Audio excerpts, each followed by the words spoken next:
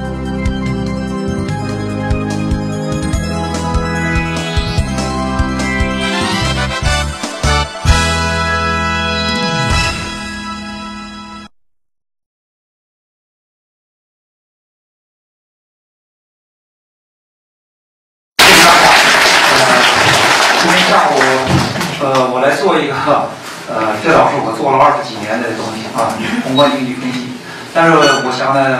宏观经济分析呢，呃，当然要有大量的数据、动态的说明，呃，但是我一般不做预测，因为预测就是说将来会怎么样，呃，实际很大程度取决于政府的政策，政府的政策又不是我来定，是吧？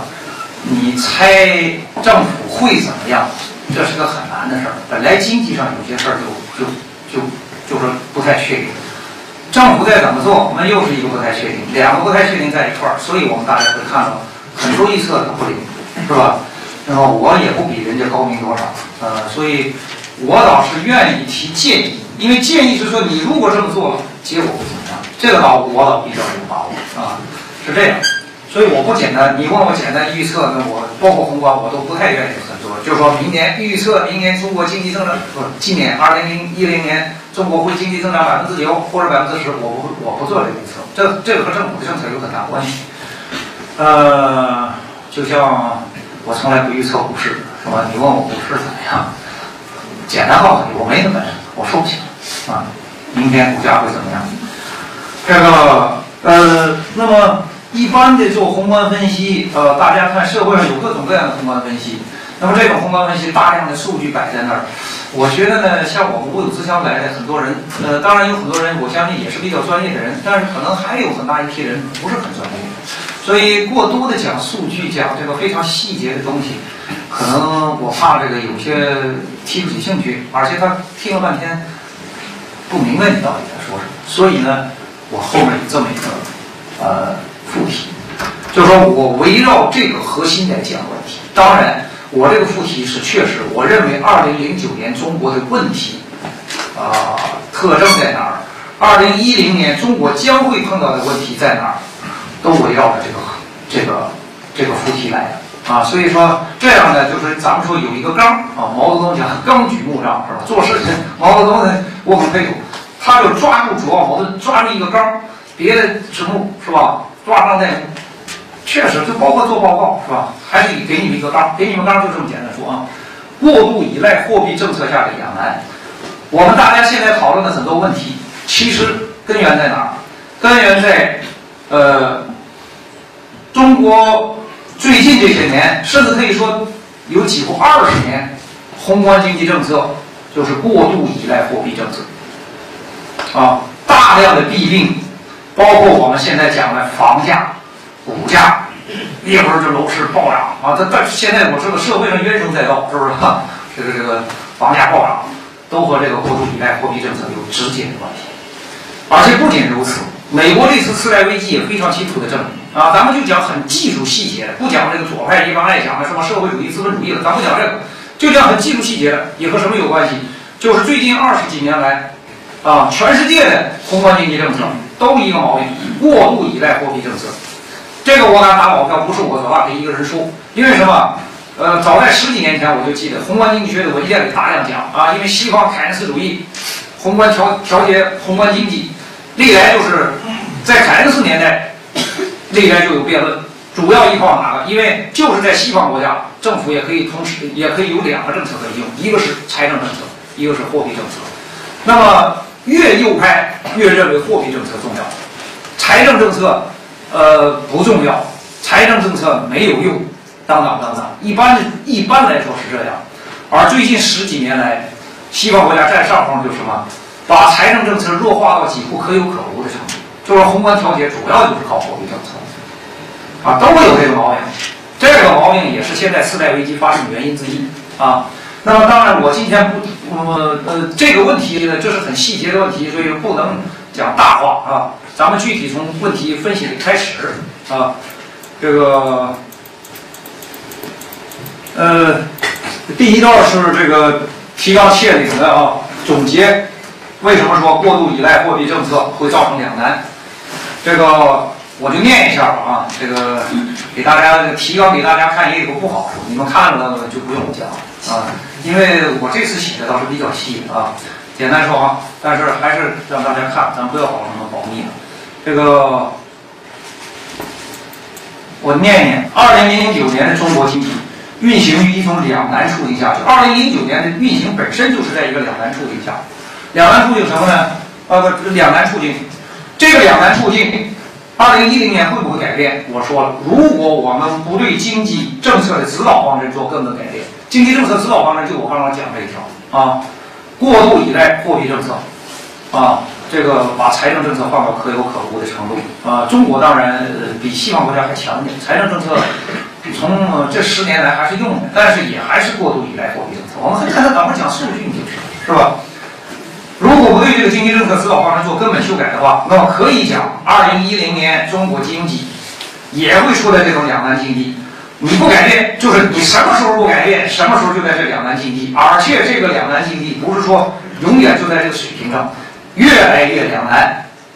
怎么个两难啊？简单概括，两难境地在于啊，由于政府在宏观经济调节上过分依赖货币政策，导致呢。就是说，两难什么？扩张也不行，紧缩也不行，两难就这个意思啊！你你说扩张行，那咱就扩张是吧？紧缩不行，咱扩张；扩张不行，咱紧缩。现在是什么？扩张也不行，紧缩也不行。如果你仅仅就从货币政策是吧啊打主意的话，什么呢？政府在宏观经济调节上过分依赖货币政策，导致你实行扩张性的宏观经济政策，实行货币扩张性的宏观经济政策，在货币上就是放松信贷，就是什么呢？出现严重的金融泡沫。我们现在大家操作的房价问题，只不过是泡沫的一个具体表现，当然是泡沫里头最厉害的一个问题，啊，这个出现严重的金融泡沫，而且谁都知道，这个金融泡沫下，呃，呃，经济就有点乱。那么金融泡沫下往往是什么呢？是金融泡沫很厉害，但是经济还是没太起来。那么你为了刺激经济，就要进一步放松，放松以后当然泡沫更厉害。厉害到一定程度了，经济会过热，这就是说你扩张不行，是吧？扩张的力度太大啊，像大家现在呃操作这个房价问题啊，蜗居流行，流行到我随便聊起来啊。据说有有跟上头人有接触的那些写政策的，呃，给给政策政府写文件的人接触的人说，政府对房地产也感到很大压力。确实，你看国务院最近接连出政策是吧？基本思想是什么？据说背后说，极左派在利用房价问题煽动老百姓，是吧？极左派谁呀？当然，心目里我们这波人就是极左派。我听了我说什么？我只能骂中国的左派是混蛋。为什么？是房价问题是你煽动老百姓最好机会，但是恰恰是在房价问题上煽动老百姓最厉害的很多人并不是左派。我说的意思听明白没有？就是左派没有抓住这个大好时机来煽动老百姓，啊，因为房价问题有名的讲房价问题的地产三剑客，对不对？像我们当年三剑客似的，地产三剑客，曹建海可以算一个左派，是吧？比较比较就是理论上什么也比较左。那牛刀什么石石寒冰老些东西，人咱们甚至还有些左派的呃网友说这个石寒冰很多观点很右的，对不对？就是他批判批判这个房价暴涨，这是肯定的，但是。比方说美国好话什么是吧？这在中国都不能放到左派里头。就是说房价问题上最煽动群众的，呃，其实呃多一半不是左派。那么左派呢，没有把这个时机好好利用起来。其实这是控诉资本主义私有制、资改的路线最好的一个机会之一。嗯，左派没好好听啊。当然，人家人上部是是高度紧张，说是极左派在利用这个煽动老百姓。因为什么？很明显，他不是别的。就是你煽动也好，不煽动也好，人家老百姓的不满是毫无疑问的，对不对？这个咱这个我想就不用我具体说，是吧？这毫无疑问，已经到了民怨沸腾的地步了啊！因为我一看我那讲到房子就是一片骂声，你都不敢提房子，提到房子肯定是一片骂声，嗯，是吧？所以说呢，这个呃，这是政府感到很大的压力啊，但是呢。呃，你们大家如果看到我最近在物有之乡，我自物有之乡也转载了我自己的网页一篇文章啊，那完全是用数据说话。任志强不天天说数据吗？那你就拿数据，我就拿几个数据，就是数据，就是文章题目就很清楚，房价暴涨的根源在信贷膨胀。一看数据太清楚了，我下面还要讲的，还要把这个数据重复一遍，就是信贷膨胀导致房价暴涨。啊，要想让房价不暴涨，我的你都打赌，我就叫板，谁敢接受我的挑战？我说你啊，我就这么说，谁要说房价和信贷没有关系，好，你敢不敢接受我这个挑战？今年、明年两年里头，每一年咱们信贷的增长率不超过百分之十五。第一个，第二个，呃，就是呃消费信贷、个人消费贷款，咱们专门有这个统计的。这个数据啊，有的地方有的时候也公布，我等会就能念到这个数据。啊，这两年里，每年这个个人消费信贷这个余额增加不超过四千亿，就是它有个总量，每年都在增加，这个增加额不超过四千亿。我说谁敢接受这挑战？这两条要做到，房价一定不上涨，不暴跌就不错。坚持两年，不是叫你几个月，两年。因为什么？很简单，零八年的数据都告诉你很清楚，一年那房价就停止上涨。零八年为什么房价停止上涨？一年就停止上涨，两年再坚持一年，房价不暴跌才怪。嗯，就这么简单。而且现在的规模比过去大了，你知不知道？这个东西还有基础规模啊。我就在那叫号。谁有本事敢说啊？你说是和信贷没关系的人，你你就既然没关系就干吧，你就让政府干，敢不敢？我现在就挑战任何一个人，你叫什么敢不敢？是吧？呃，这是我说的啊，就是说现在呢，但是为什么政府不做？让政府这呃呃房价要暴涨了，不房价要暴跌了呢？银行可能要有坏账，增长率下来了，等等啊，这就我们讲的那有那是另一方面的难了。就是说，你要是不扩张信贷，啊，你扩张信贷，泡沫起来了，而且这个泡沫，你让老的这泡沫让它不断这么起，最后肯定还是要过热的，过热就是通货膨胀什么都出来的，这是一。但是如果实行紧缩性的宏观经济政策，像我刚刚讲的那个，肯定是个紧缩性的宏观经济政策，收紧信贷，那么金融泡沫破灭，甚至可能发生金融危机，啊，确实可能是整个经济滑向衰退。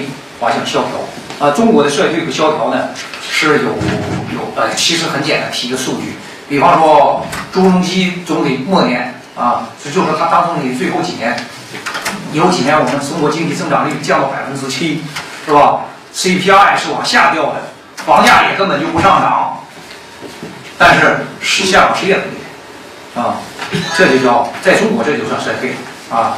那，西方国家当然，美国你你还百分之七增长，在美国绝对是高增长啊。但是呢，在中国就是因为失业了啊。呃，这个我讲是这么呃，就是说我们现在呢处于这样一个两难，这个两难零九年在这贯彻着，那么这个贯彻的就是零九年这么扩张性的信贷政策导致的是金融泡沫啊。但是为什么不扩张呢？为什么他要扩张呢？呃，政府说救市嘛，我不扩张，失业很厉害。是吧？这下面就是围绕这个给大家讲解数据啊。我讲到最后就还是这几句话，就是我们处在这个。那么你这样一个完全依靠货币政策的这套东西做下去的话啊，一零年咱们走不出这两难，一一年也走不出，而且我相信永远走不出，而且将来只会越来越厉害，因为越来越两难，就是你走钢丝是吧？那条道越来越窄啊，越来越两难，这么一个问题，这个。那么我下面展开讲啊，那具体咱们讲些数据。呃，下面讲的比较快点，有些就是照着我这念，因为我确实下了功夫收，尽可能收集了能收的收集到数据。第一个，零九年的情况，二零零九年中国处于西方金融危机的国际环境下，这个我不用讲，大家都知道，美国发生了严重金融危机。目前呢，西方人宣称他们已经停止了经济的下滑，就是 GDP 啊严重下滑呢停止了。呃，以后如何呢？当然，种种预测都有。有的认为美国就开始，呃，从此开始逐渐复苏了吧，起码不会再进入危机了。当然，有的人还是警告，再往下掉的可能性也是有的。我现在，咱们今天不是这，这不是我们的主题啊，我不做这预测啊。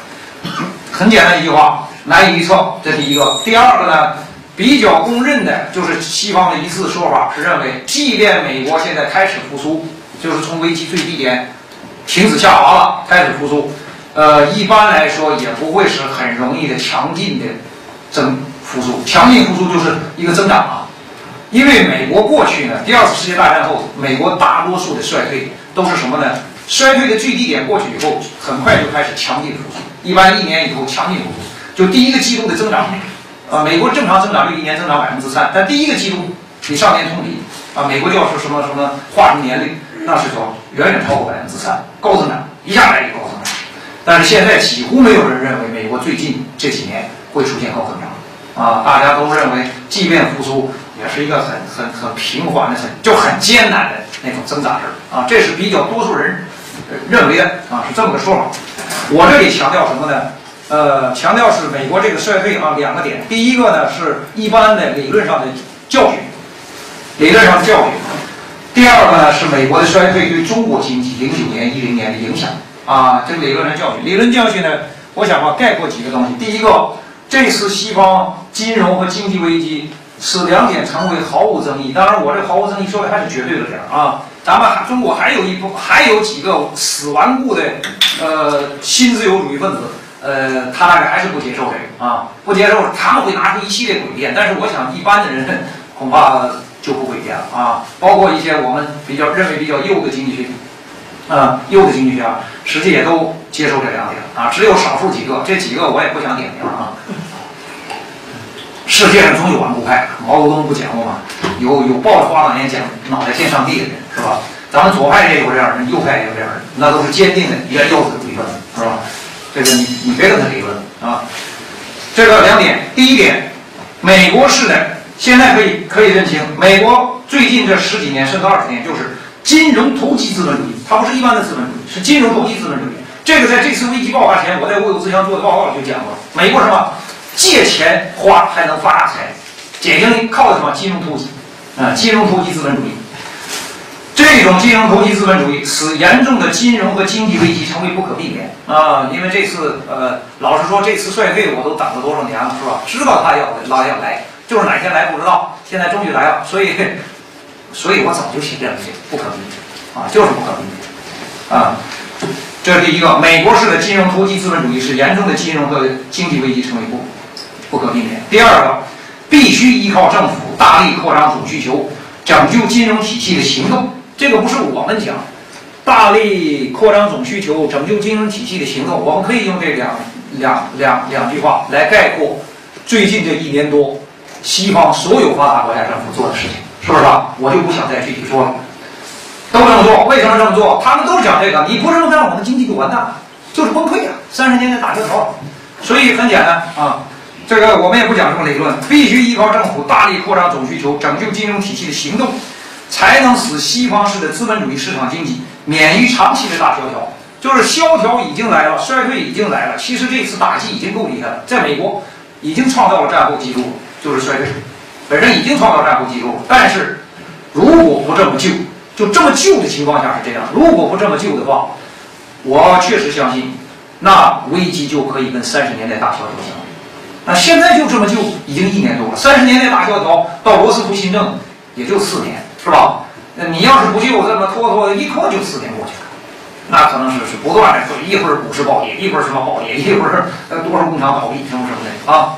如果不救，啊，简单说这么两点，就是说，我认为不要再怀疑这个问题了啊。这次危机不爆发的时候，可能多数人啊，特别经济学家啊不相信，但是现在不要怀疑。啊，谁怀疑我就告诉你，我不跟他理论，你就是一个抱着花岗岩脑袋见上帝的人啊，没工夫跟你理论。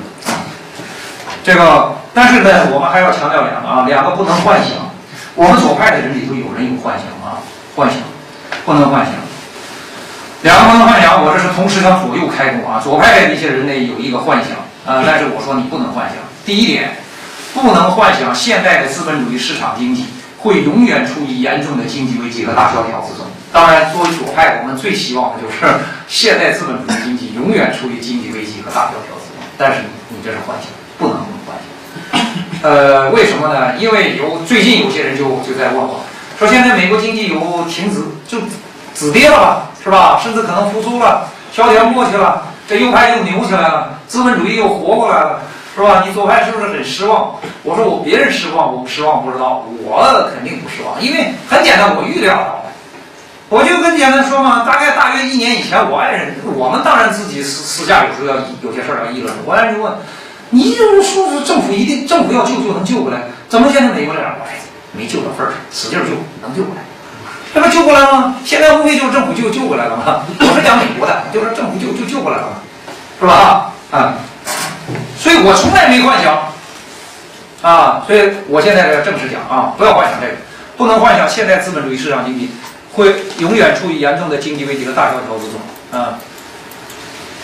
但是第二个是另一个啊，就右派的幻想，右派的幻想也一样破灭，就是不能幻想没有政府的大力干预和救助，现代资本主义市场经济不会处于长期的大萧条之中。也就是说，呃，实际情况应该是没有政府的大力干预和救助，保不齐哪一天现代资本主义市场经济就会处于长期大萧条。啊，你要是幻想说没有政府干预。呃，也不会有这长期大萧条，这也是幻想。那当然了，这两个怎么统一啊？统一很简单，政府西方政府必定要救助，所以他不会。听明白我说没有？这两个是统一的，统一怎么？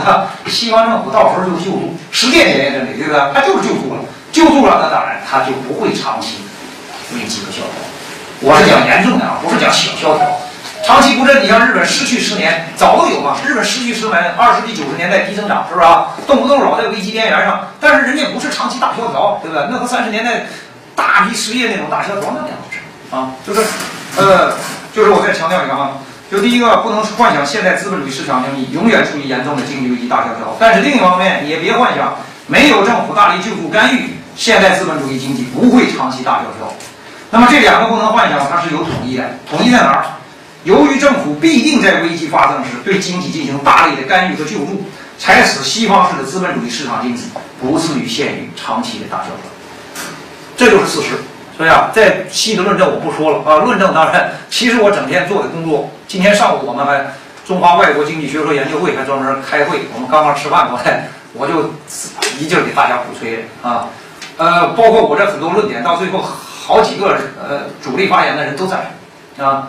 呃，这帮人都是教授、博导什么之类的啊，院长什么的啊，也都经济学界都有点名气。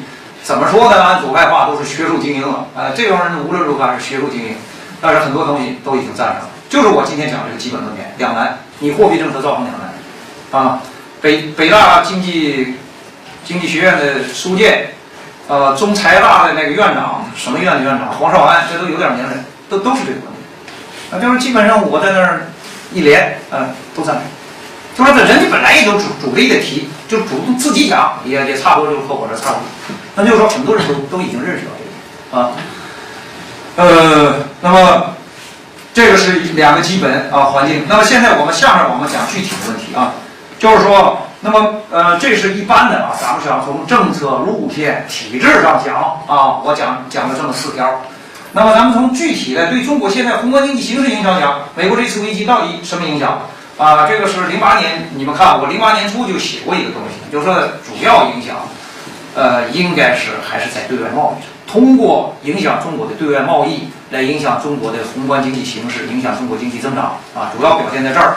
我给大家下面就念一下数据啊，别的方面没有大的影响啊。当然，我们大家担心中国的资产，这是另一个啊，资产上会受多大损失。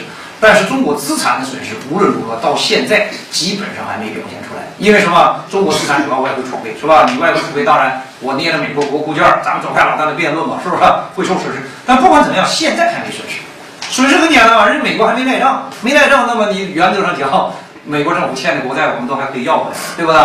那么包括房地美、房地美，中国窝了他三千多亿美元的，原来公布过三千多亿美元。他欠了我们债，但是现在美国政府给房地美、房地美全额担保，要是房地美、房地美如果有任何资金不够，政府给注入，那那他还债，至少到现在为止，他还中国的债是没问题，对不对？因为美国政府这是美国政府出来担保，将来出不出？但是其实确实，现在不出问题不等于将来不出问题，其实将来出问题的危险大。很简单，就是美国这个国家将来是不是一个变成赖账的那种无赖国家？啊，美国动不动过去老说这个，包括社会主义国家都赖账的无赖国家是吧？就是你借了钱不还啊，一发生金融危机就必有某个国家借贷不还嘛，对不对？但是美国今后最大的危险在美国身上，就很简单嘛，你看美国美国欠了多少债了，是吧？啊，这个不敢说，但至少到现在没有，还没有，是吧？那是我们考虑将来的问题啊。所以呢。到目前为止，我们只能这样说：美国的经济和金融危机对中国经济的影响，主要是通过影响中国的进出口，影响中国的对外贸易顺差，这里要要讲一个最基本的常识，就是说，对于中国的经济增长，对于中呃对于中国的宏观形势来说，起决定作用的是贸易顺差，不是简单的你出口多少，是出口减进口这个顺差。因为这个宏观经济学最基本的公式是什么呢？一个国家对一个国家产品需求是四大块构成的，呃，消费、投资、政府的购买，加上进出口。进出口就是出口减进口啊，就这个需求。当然了，进出口这块小了，国外对你的需求就少，你一个国家总需求就少；进出口这块大了，那么你国外的需求大，我们的总需求就大。那么美国呢？这次次贷危机确实通过进出口对我们的影响是很大的啊，确实很大。一查数据，而且这个大有点超出我原来的想象。然后简单咱们念个数据啊，二零零七年中国进出口总额，呃，就很很快的念一下啊，这个这个大家都可以查到啊。我就把关键的数据强调，一般的我就念念，好容易写出来了，我也不能不念啊。呃，零七年中国进出口总额两万一千七百三十八亿美元啊，两万多亿，顺差两千六百二十二亿美元。对我中国的宏观形势最重要是这个顺差，顺差两千六百二十二亿美元。二零零八年进出口总额啊，两万五千六百一十六亿美元，比上一年总额进口出口加一块儿，比上一年增长百分之十七点八。其中进口一万一千三百三十一亿美元，出口一万四千二百八十五亿美元。顺差两千九百五十四亿，注意啊，两个顺差，零八年的顺差比零七年的顺差是多了三百多亿美元，是顺差，顺差本身就是一个总需求，是吧？现在顺差还多，顺差多了，当然你应该有个增长，顺差本身就会造，顺差的增加不是顺差，顺差的增加本身就应该让你经济有一个增长，因为需求增长，是吧？但是只是三百多亿美元。这个重要，这个要强调什么？你要注意，三百多亿，在世界上都是很大。很多国家，你有三百亿顺差就是很大。我们我们根本不是三百亿顺差，是三千亿顺差。就是我今年的顺差比去年增加三百亿，增就增了三百亿。那很多你看，很多国家弄一百亿顺差就不错了，那都是个外贸形势很好的一个国家啊。这个就是说。尽管在中国三在世界上来说，这三百亿都是一个很可观的数据，但是比头几年差。因为头几年呢，呃，中国每一年外贸不仅有顺差，而且顺差不断增加，而且增加的数据要比三百亿大，啊，在七百亿到一千亿之间，啊，咱们从零五年开始，这个我没仔细查数据，因为脑袋里大概有个印象，啊，我们最早一年顺差四百亿，啊，零五年大概一下上到。一千亿是吧？增加了多少？六百亿，然后就是一千七百亿，然后就零七年的啊两千六百亿。你想一年增加多少？一年光增加增加七百亿到一千亿。实际零八年这个增速已经明显增速明显掉啊。为什么？当然，零八年下半年第三季度开始，外国金融危机的影响很清楚，外国买你东西少啊。这个啊。那么，二零零九年，因为二零零九年统计数据我到现在还没拿到，它很简单嘛，才还没到时候是吧？呃，才二零零九年呢，大概预计是中国进出口总额两二点二万亿美元，呃，总额就比零八年下降大约百分之十六。当然这是个估计数，就是比零八年大幅度下降。但我们注意啊，零八年之前，啊到零七年为止，我们有四五年时间，每年外贸总额。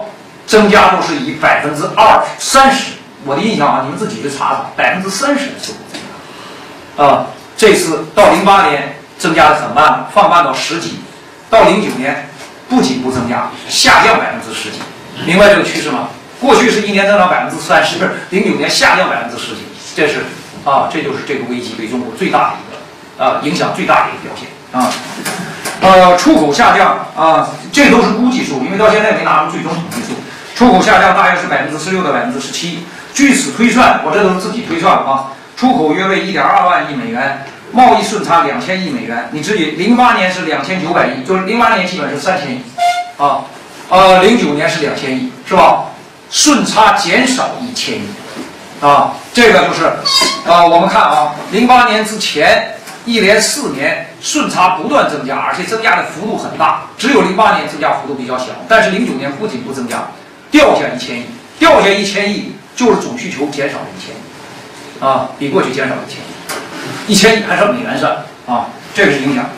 贸易顺减少一千亿美元贸易顺差，那么大概估算啊，怎么算的我不说，大概你们自己有点数的数字概念，你们都能算出来。就这个掉下来这一千亿，直接降低中国经济增长率两个百分点左右啊，就是你算算零九年我们 GDP 大概多少啊？下面我们都会给大家念这些数啊，这样呢，呃，下面念啊，二零零五年到二零零七年，中国的贸易顺差每年增加约六百亿到一千亿美元。这个本身直接增加了中国的经济增长率，直接就按这个数字算，直接提高中国经济增长率，每年是多少呢？二到三个百分点，啊，就是按当年的实际价算 GDP 啊，能算，提高中国经济增长率两到三个百分点。西方金融危机爆发后，贸易顺差在二零零八年增加不大，才增加了三百多亿，二零零九年大幅度下降，掉了三分之一啊，三千亿变成两千亿了，是吧？掉了三分之一。使对外贸易对中国经济增长的作用，从提高增长率三个百分点变成降低增长率两个百分点，一出一进差了五个百分点。什么概念呢？零七，比方零七年是吧？零七年那个贸易顺差也是增加大不大概有一千亿，那么这是光顺差提高三个百分点。那么现在这三个百分点没了，而且还降了两个百分点。那么零七年咱们增长率百分之多少？十一点九。你把这五个点减掉。剩下多少？十六吧，六七百分之六七，这数老挺对。你不信查，零九年第一个季度中国经济增长百分之六点几，百分之六点八，啊，影响主要在这儿。那么直观看当然很简单，那那零八年年底我到广东去，人请我去一趟，那人就告诉，就是东莞哪条路，这路原来过去天天的就那那个大货车，就就什么那个那个集装箱的拉货的那。呜呜成天不成宿半夜的不断，现在没了，冷冷清清，不就这么简单吗？是吧？所以咱们都知道广东大批企业倒闭啊，什么什么的啊，这个问题啊，这是主要影响。到至少到目前为止啊，对中国的主要影响是吧？在这一块儿，在这个背景下，中国经济增长速度发生显著波动。中国经济增长率，二零零六年百分之十一点一，零七年百分之十一点九。零八年第四季度降低到和上年同期相比，就是零八年第四季度和零七年同期，呃，第四季度相比是增长百分之六点八。全年的经济增长率，因为零八年开头增长率还很高，前两个季度很高，它是全全年嘛，全年零八年增长率百分之九点六，九点六已经比零七年低了两个多点，啊，十一点，零七年十一点九嘛，啊，以当年价格计，那么我这里呃一个数据啊，当年价格计。这个是统计局马建堂，马建堂都是我们老同学啊，呃，他还比我低一年级，读博士的时候啊。统计局长马建堂，所以我我不批评马建堂啊，马建堂这做人还是不错的，老同学嘛，他没得罪过我 啊。这个全年的经济增长率，呃呃，那么马建堂呢也是专门讲，就是这个数据比往年的数据还实，因为这是普查普查出来啊，零八年的数据。当年价格计国内生产总值三十一万四千零四十五亿元啊，这是普查修正的数据。呃，那么现在零九年到底增长多少？因为现在才一月份是吧？数据还没拿出来，我一直等着，到现在没拿出来啊，没拿出来。但是呢，我看到很多估计，呃，这些估计应该说跟最后的数据不会差别太大啊。有估计，二零零九年经济增长率降到百分之八点三，降到百分之八点三啊，就是我们看了啊。大概说，如果没错啊，呃，就前两个没错，零七年十一点七，零八年九点六，而且零八年实际后两个季度非常厉害。如果让它延续下去的话，咱们零九年就不是百分之八点几，那零九年可能就是百分之六、百分之五啊，因为最后那两个季度掉的很厉害啊，六点八了，呃，但是零九年仍然达到百分之八点三，为什么？宏中央刺激经济的宏观政策，最近这几个季度，呃，最近两个季度是。挺见效啊，这个我们就在讨论这个问题啊。呃，但是呢，这样当然了，你简单看这个数据啊，可以做一个很简单的结论，而且我估计官方特别愿意做这个结论啊，说这个经济增长率下降啊，就是西方金融危机冲击的结果，但实际上不是啊，这个你光看数据是不行的，因为确实很难从数据里辨识出这个，但是实际上研究这个银行啊。研究地方情况啊，研究动态，就这个月和那个月动态，人其实能看很清楚。衰退并不是首先从西方的冲击开始，是我们自己政策。当然，这个政策我是拥护啊，这就这么说啊。呃，就我这句话，呃，中国这个就跟什么有一比呢？比方说，呃，朱镕基末年，这末年有点不太好这话啊。呃，反正就是就是因为大家都明白有什么意思啊。我的朱镕基都召见过我，跟朱镕基我到现在都不骂朱镕基，很简单，咱们有点私人交情，对不对？是吧？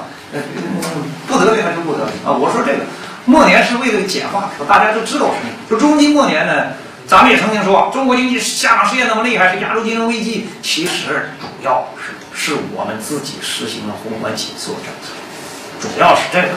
其实都说找一个外部托词，可能今后也会说啊，零八年、零九年那块儿就是西方金融危机，其实也不是。首先是由于我们自己宏观经经济紧缩政策，而且我认为这紧缩是正确的。只不过说你这个力度要掌握啊！大家能看在我有之前翻到零七年，我激烈的攻击通货膨胀政策，而且说实话都指名道姓，攻击到国务院头上啊！你们能看到没？啊，我对这套东西一直在盯着啊，所以清楚啊。所以这句话啊，中国经济增长率降低，首先不是西方金融危机结果，而是开始于中国自主实施反通货膨胀宏观经济紧缩。为什么啊？这个给大家讲几个基本的啊，宏观上，你们如果想研究宏观经济的话啊，我给你打保票，这是我二十年心血，就在这儿，就这么一段。第一个，这个现在西方研究都讲潜在生产能力、潜在产量，美国人看也都是，我们的潜在产量今年应该是多高？每年增长多少？美国大概数据，它的潜在产量每年增长百分之三，美国自然失业率，这个潜在产量是维持在自然失业率上，自然失业率每年百分之五点几。啊，这是这是一般的美国宏观的他们的共识啊，就是绝大多数都接受共识。那么我认为这个研究啊，中国经济潜在生产能力、潜在产量每年增长大约多少？百分之九点几，就基本上就是我们的平均增长率，就是潜在产量增长率啊。呃，那么但是问题就在这儿，这个潜在产量基本就是我们的平均增长增长率。那当然，既然平均，你有的时候增长率高，是吧？我们刚刚讲了嘛，零七年十一点九。那有的时候低，啊，中中期末年就是低到百分之七、百分之八，这就很显然，它就会造成什么？我实际的这一年的产量和潜在产量不不相合，也可能比它高，也可能比它低，所以才能弄出一个平均数啊。那么现在的情况什么呢？到二零零七年为止，中国连续五年保持了每年经济增长大约为百分之十，甚至明显高于百分之十。我们刚刚念了两个数据很清楚，零六零七。不是百高于百分之十，是高于百分之十一，甚至接近百分之十二。这在中国，任何年头到了这个增长，专家都会说过热，经济过热啊，甚至高于明显高于百分之十。那么到二零零七年，中国实际产出已经超过其当年的潜在产量大约百分之二，这是我最新的成果，不是我的成果，老实说，是我的我。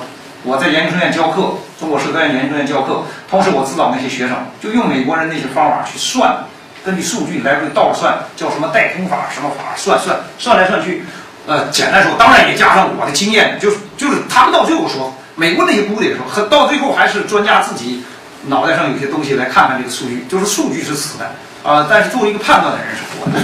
那么根据我这判断，我说这个数据最可信，就是。零七年，中国实际产出已经超过当年潜在产量大约百分之二，就是我们零七年过度了，生产过度了，所以那一年有有非常高的通货膨胀，而且通货膨胀越来越高，一直到零八年，大家都记得，零八年上半年物价上涨还是很厉害啊。这个实际产出高于潜在产出百分之二，这个高于潜在产出，当然就叫经，我们平常说经济过热，这个经济过热是由于什么呢？总需求过旺，总需求过旺。同时的一个现象就是通货膨胀，物价总水平上涨。那么中通货膨胀表现什么？中国的居民消费价格指数就 CPI，我们说的 CPI，这个我不解释了啊。应大家假定前提是大家都都懂啊，就是居民消费。当然这是居民感觉最清楚的，因为这是你们消费的那些东西，它物价平均上涨多少？CPI 和上年同期相比，二零零六年是增长了百分之一点五，就二零零六年比二零零五年增长。那么二零零七年增长百分之四点八。其实，二零零七年问题不是这四点八，四点八是一个平均，把十二个月拿来平均，就是二零零七年明摆是前面比较低，那我就都记得，前面是猪肉涨价，别的还没涨价，比较低，后边越到后面几个月越高，就是后面都大概都百分之八、百分之九了，都这么个样子。啊，比上年同期。二零零八年更高，达百分百分之五点九。大家注意，这也是宏观的呃动态上一个很著名的线。其实二零零八年中国经济已经开始冷却，但是冷却的时候，它还有最后一个劲儿，就是物价上涨还有最后一个劲儿，包括这房价。就是，其实你要调控房子，你要注意，不要说这个月房子还在上涨，房价还在涨，你就以为说房价上涨的趋势没顶住，那往往是强弩之末，强弩之末。就像曹操这个在赤壁打败仗之前，有一段很强势，但那个强势是最后的一下，强弩之末。诸葛亮不说嘛，不能穿鲁缟了啊。就是零八年这个百分之五点九是一个后劲啊，就像一个惯性，它一下停不下来啊。实际零八年中国经济已经开始冷却。这个另一个更明显的是叫中国工业品出厂价格 PPI 和上年同期相比，二零零八年六月上涨了百分之八点八，七月上涨百分之十，啊，达到一九九六年以后十年最高增长。这个就是说那一波经济过热啊，就是说我们到零八年的时候，中国确实自己面临一个严重的经济过热状态。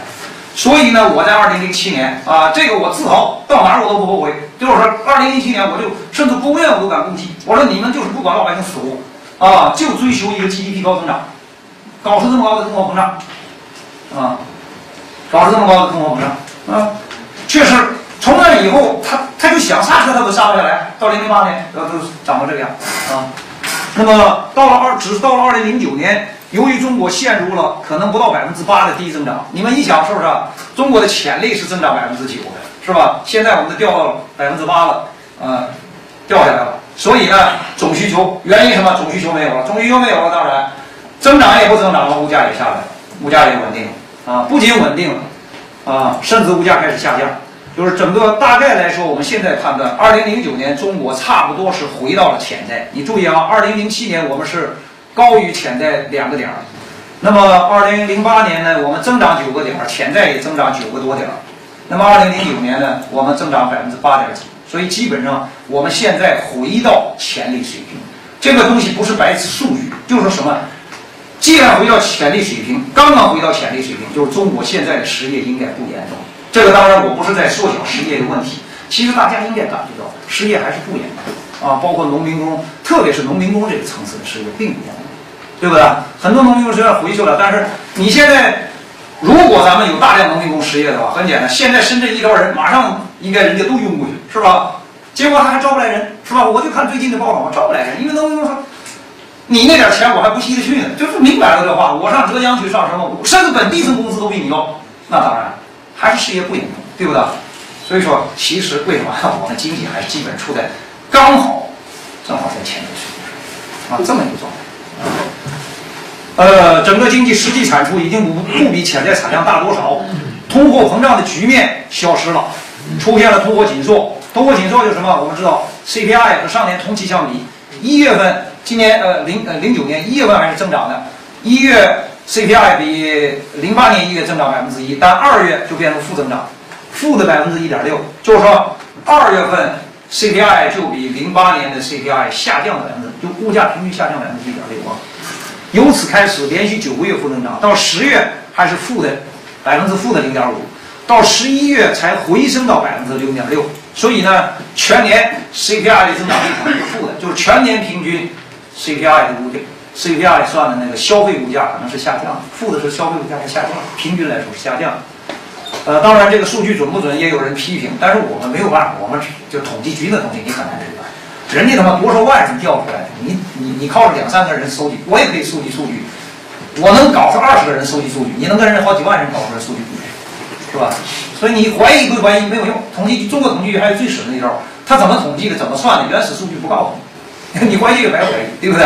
原始数据人不告诉你，我就结果，啊，所以我们只好用他这来算，但是大体来说还是比较合乎。就是说，他说的 CPI 涨得比较高的时候，我们确实感到。至少物价上涨比较高。他说比较低的时候，确实物价上涨就是比较低。至于这个绝对数对不对，那当然很多人有怀疑啊。这个全年平均的增长率可能是负的。PPI 和上年同期相比，二零零九年一月啊下降百分之三点三，到五月就下降百分之七点二，就那出厂价、钢材啊什么什么，它降价降的厉害啊。呃，那么讲这个问题啊，这个转折从哪开始？我就说刚刚强调啊。说西方金融危机的影响，但是西方金融危机影响对中国的影响非常明显，是从二零零八年第三季度，呃，这个我没看数，没查数据，我有印象啊。第三季度你一看外贸出口大幅度下降，啊，这个影响上来了。但实际上中国经济的冷却不是从零八年第三季度，这个当然这是我们知道的消息。中间的转折，我认为从二零零七年底开始，认为什么呢？我们那时候听到，好像五子乡的人也知道说过，这个好像零七年底中央工作会开会，开会上据说是吴邦国委员长讲，说中国经济有泡沫，泡沫总归是要破灭的。那么当然决策层内部，这就是说决策层内部有非常强烈的声音要紧缩，啊，当然也是因为我们底下这些批评呢，我们已经批评半年多了，是吧？终于上面都接受了啊。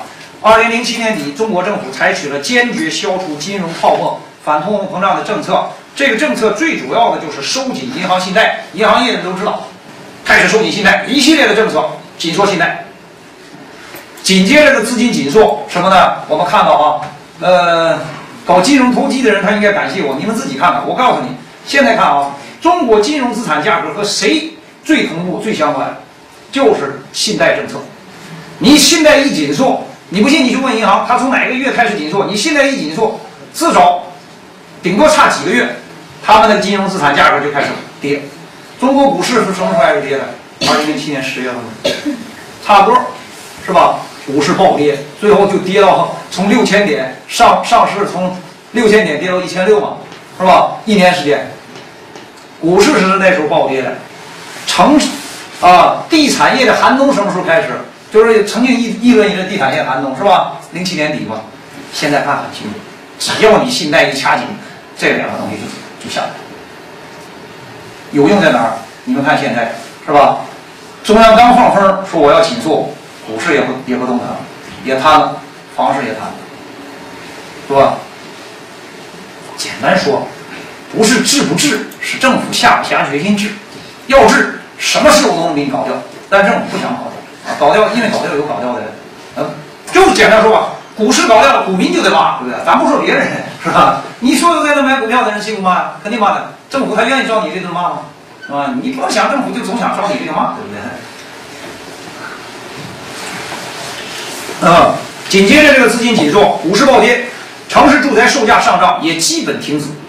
这个啊，你像啊，到二零零八年十月份，统计数据，全国七十个大中城市。房屋销售价格同比只上涨了百分之一点六啊！我没拿历史数据，因为历史数据，比方零七年就上涨了百分之七点几、八点几。你不管怎么说，是吧？非常大的一个差距，上涨百分之七点几和上涨百分之一点六，一点六就快，基本上要不上涨。这个就是那一年啊，很多想买房的人非常高兴，地产业寒冬来了，房价甚至大家等等着要跌了。就这么说，简单说啊，中央这个紧缩政策要再熬一年，我相信房价是要跌的。就是它零七年是一个高增长，零七年是就这个数据，同一个口径的数据，零七年增长了七点六，零八年才一点六，是吧？是吧？你再紧缩一年，就按这个程度紧缩一年，房价就是跌的。我这个敢打保票，但是夭折了。为什么夭折了？金融危机把它救。啊，金融危机一来，确实这个就是我们现在是两个问题，零零八年两个问题同时碰上，我们自己的紧缩。就导致了啊一块下降，然后啪，突然间外边那个那个金融危机过来，那么政府当然确实，政府到这时候也是得改变政策，改成扩张，你这不能掉的很厉害，对吧？掉很厉害，那失业真就上来了啊！你你等到失业已经很严重了，那就是就爆发了。确实早点采取措施是对的。问题我现在批评主要什么？主要净是靠金融，靠信贷，这个是非常糟糕的啊。这个我们就讲这个啊，就是呃，这个紧缩政策是有有作用的啊。那以后的一年，大城市房屋销售价格基本上开始基本停止上涨。那么这个紧缩政策对宏观经济增长的影响开头并不明显，因为你查些数据不明显啊。因为我们是看到 CPI、PPI，它俩就是物价的涨幅在二零零八年上半年甚至还很高，结果导致很多老百姓说政府这紧缩就白紧缩。你就记住，我们宏观一个有名的话叫实质，时间有滞后，政策作用有实质。至少也得三个月，你不能说政府现在紧缩，马上 CPI 就不上涨了。你开车有时候你急刹车，它还能往前冲一下呢，对不对？你不用说慢刹车了，对吧？你就想着这个嘛，是吧？这个二零零八年上半年甚至还很高，典型表明什么呢？但是这也表明一个，因为我们的紧缩主要是货币政策，货币政策当代对宏观经济运行的影响有个非常明显的滞后，特别是如果你的紧缩不是非常严厉的话，那么它有个，呃，现在看中国的经验，这个滞后可能要滞后三个季度。国外有过研究，有些人认为是滞后三个季度，就我三个季度前紧缩，那个物价停止上上升，得到三个季度以后才能看到底有多大作用啊，明显的滞后。那么另一方面呢，这个宏观过热，一个最重要的印象，中国我们知道，宏观过热最主要一个是投资。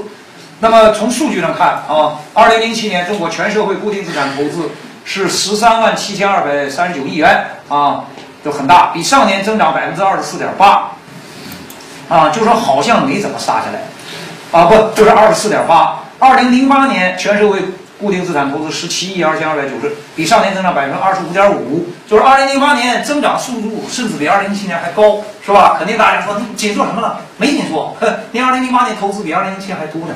啊，不是多，是增长率还高，增长的比你二零零七年还快呢。哎，这个就是说紧缩的实质，大家记住。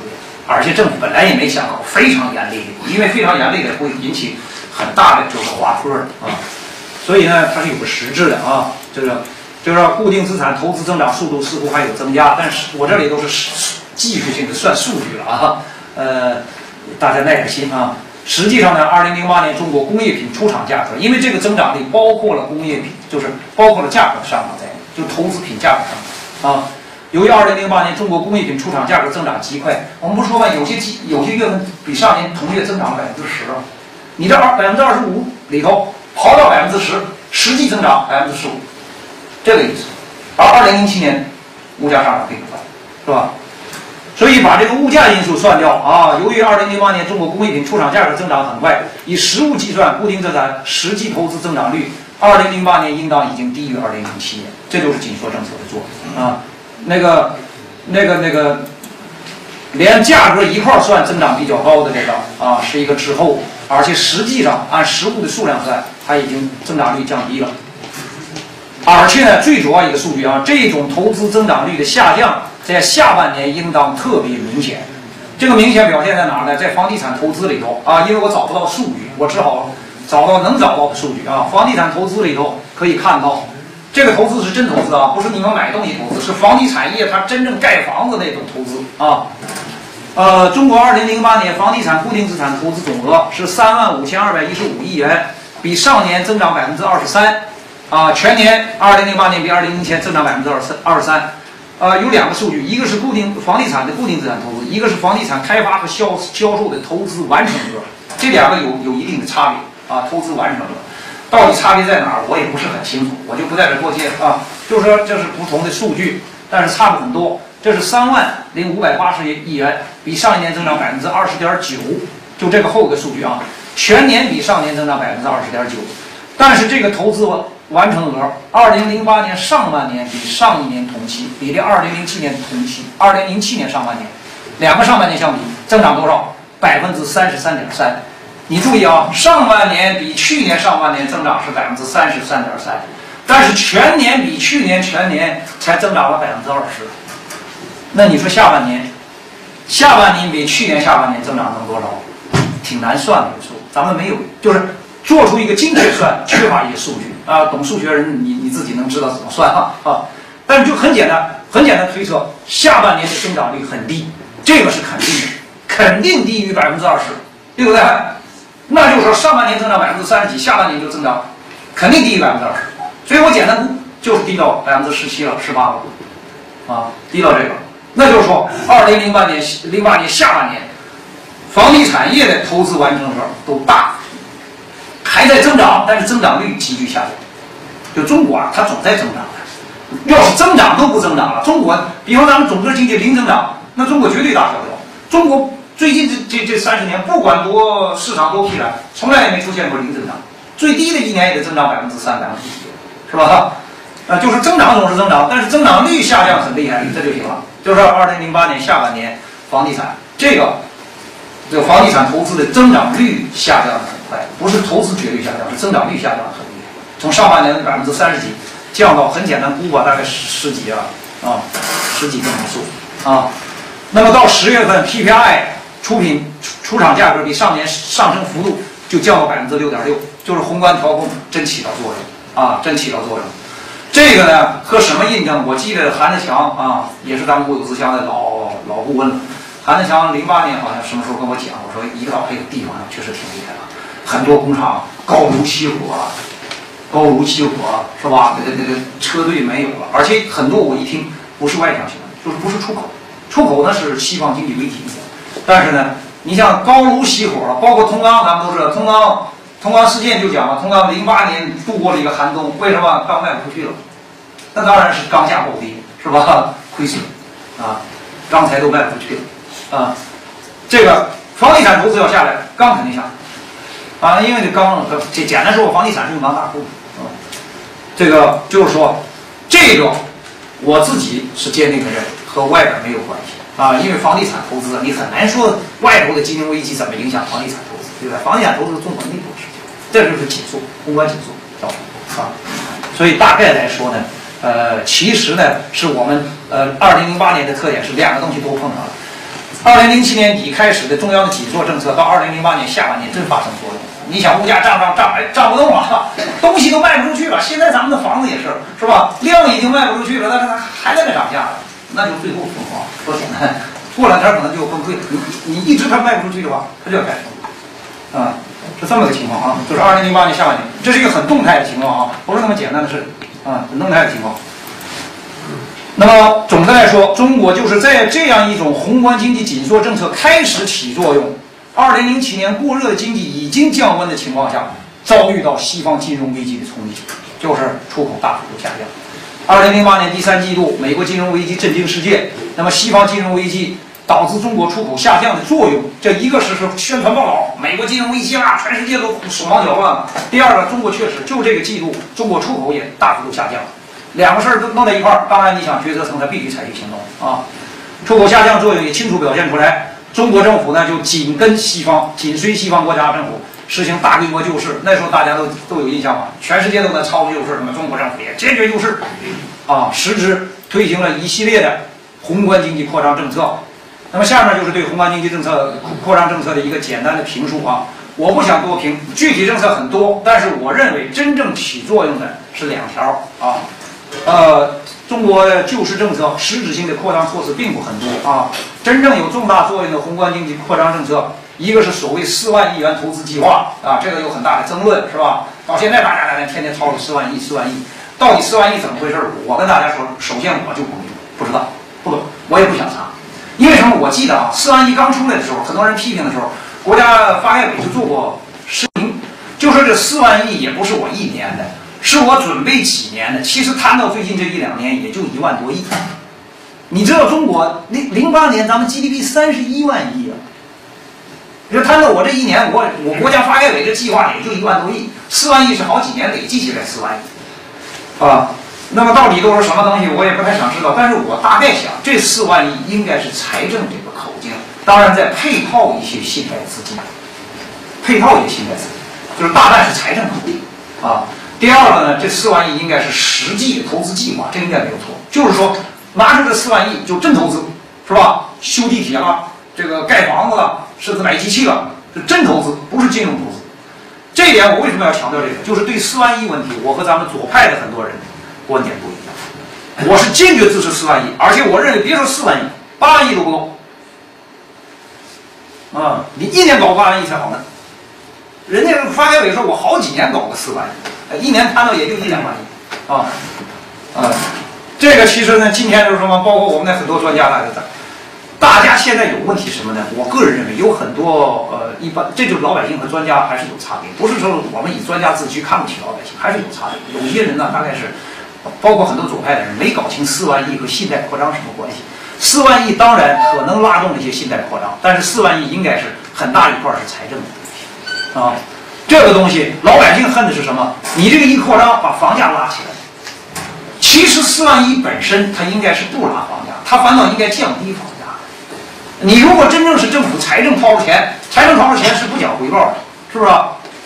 花了就白花了钱，盖了房子然后。啊，就是供给老百姓卖，那房价应该下降。正是房地产商也说嘛，你供给太少嘛，对不对？政府盖了四万亿房子卖出去，那房价应该下降，它不应该上升啊。房价上升问题在哪儿？在大量的资金，房子少，资金多，对不对？房价才上升，这是很简单的道理。我想你们都应该能接受，是吧？你政府这是财政拿了四万亿，咱们盖的房子就是盖那个老百姓的住宅，然后就卖给你，那房价应该下降，不应该上升。所以你得搞清楚，四万亿不是房价上升的祸，祸根本不在四万亿。啊，四万亿顶多是个中性的，中性什么？我坐地铁，我修地铁，是吧？北京修多少地铁？上海都修地铁，修铁路，有人叫铁公鸡，铁路、公路基础设施，铁公鸡应该包括什么？包括电力。咱们现在这次就一严冬，武汉电力都不够，是不是？那是应该修的，而且这个东西它也不，你怎么讲它也不能引致房房价上升啊，又是政府白掏的钱，这怎么会引起房价上升呢？根本房价上升跟这没关系，就是大家应该搞清这个，啊，罪过不在四万亿，在另一个东西，啊，我就是我下面强调的，啊，就是说真正政府起重大作用的宏观经济扩张政策，除了所谓四万亿元投资计划之外。就是狂热的增发货币和信贷，罪魁祸首在这儿。狂热的增发货币和信贷，这个增发到什么程度？其实银行业的人是清是是清楚的，等于下命令叫你贷款，扩大贷款。当时银行业很多人就说，这个玩意儿简直就是让我们在雪地里买死孩子。懂这个买雪地里买死孩子什么意思？他有一天雪要化了，是不是？买现在埋住了，过两天全化了，全露出来了。你现在叫我们干这个事情，啊，在雪地里买死孩子，啊，是这个狂热的增发货币和信贷。为什么说这个增发货币和信贷和死不能就是四万亿不能归归罪到四万亿上？很简单，它增发的货币和信贷远远高于四万亿。就算你这一年里头真就投资四万亿，也用不了这么多货币信贷，这都有数据的。你看啊，二零零八年九月，中国的 M 一二 M 二。同比就是比二零零七年同比增长百分之十五点二九，就说二零零八年房价为什么不涨？你 M 二就增长了百分之十五点几。我刚刚的十五百分之十五就这么叫头，你要一年只增长百分之十五，坚持三年房价不下降才怪。啊，同比只增长百分之十五点二九。二零零九年十一月末，中国的 M 二就是比二零零八年十一月末，当然中间差了几个月，这没关系啊。同比增长了百分之二十九点七四，增长率大了一倍。当然这是增长，就是过去是一百，我现在是一百一十五，这叫增长百分之十。那么，呃，二零零八年十一月是一百，二零零九年十一月就是一百三，一年增长百分之三十。对数据没有，我简单说啊，就是中国呢，最近这些年 M 二的增长率基本都是百保持在百分之十六七。好像从九十年代末以来，就朱镕基紧缩以后，基本都在百分之十六七、十五六、十六七。那么，呃，零八年的十五只是低了一点儿，零九年呢，一下子上了百分之二十，这是创纪录啊，创纪录。呃，我没再仔细翻历史记录，反正这么说吧。呃，这样的信贷数据在中国最近二十几年的历史上，一般都和高通胀连在一起。这就是北大那个周启仁，当然大家很多人说他是右派啊。呃，周启仁在高调和通货膨胀危险来了，但是确实他有点白叫，因为到现在为止，真正的通货膨胀还没出现。咱们一定搞清楚啊，经济学家说的通货膨胀是不包括房价的，房价呢，通货膨胀是讲 GDP，就是你投资品、消费品这些东西，不是房价啊。但是真正房价不是 CPI 这些东西啊，还没来。但是确实。我们中国一般啊，就是数据要到这儿的话，那都是高通胀年才这么增长啊，增长率比上年同期几乎高出一倍。那么，呃，这个董金银行的是啊，M 二是银行的叫负债方，银行的资产方就就是贷款。那么当然了，负债增加，资产也增加，两边几乎同步。同步，这就我们看这个数据啊，就是说。中国二零零九年十一月末，金融机构本外币各项贷款余额是四十二点一六万亿元，四十二点一六万亿，呃，同比增长了百分之三十四点七四。一到十一月，本外币各项贷款，呃，这是这叫余额，余额就是说你全部贷款还没还呢，加在一起总共多少？这在银行的资产负债上涨了。那么这个数字每年都增加，每年增加多少？你想啊。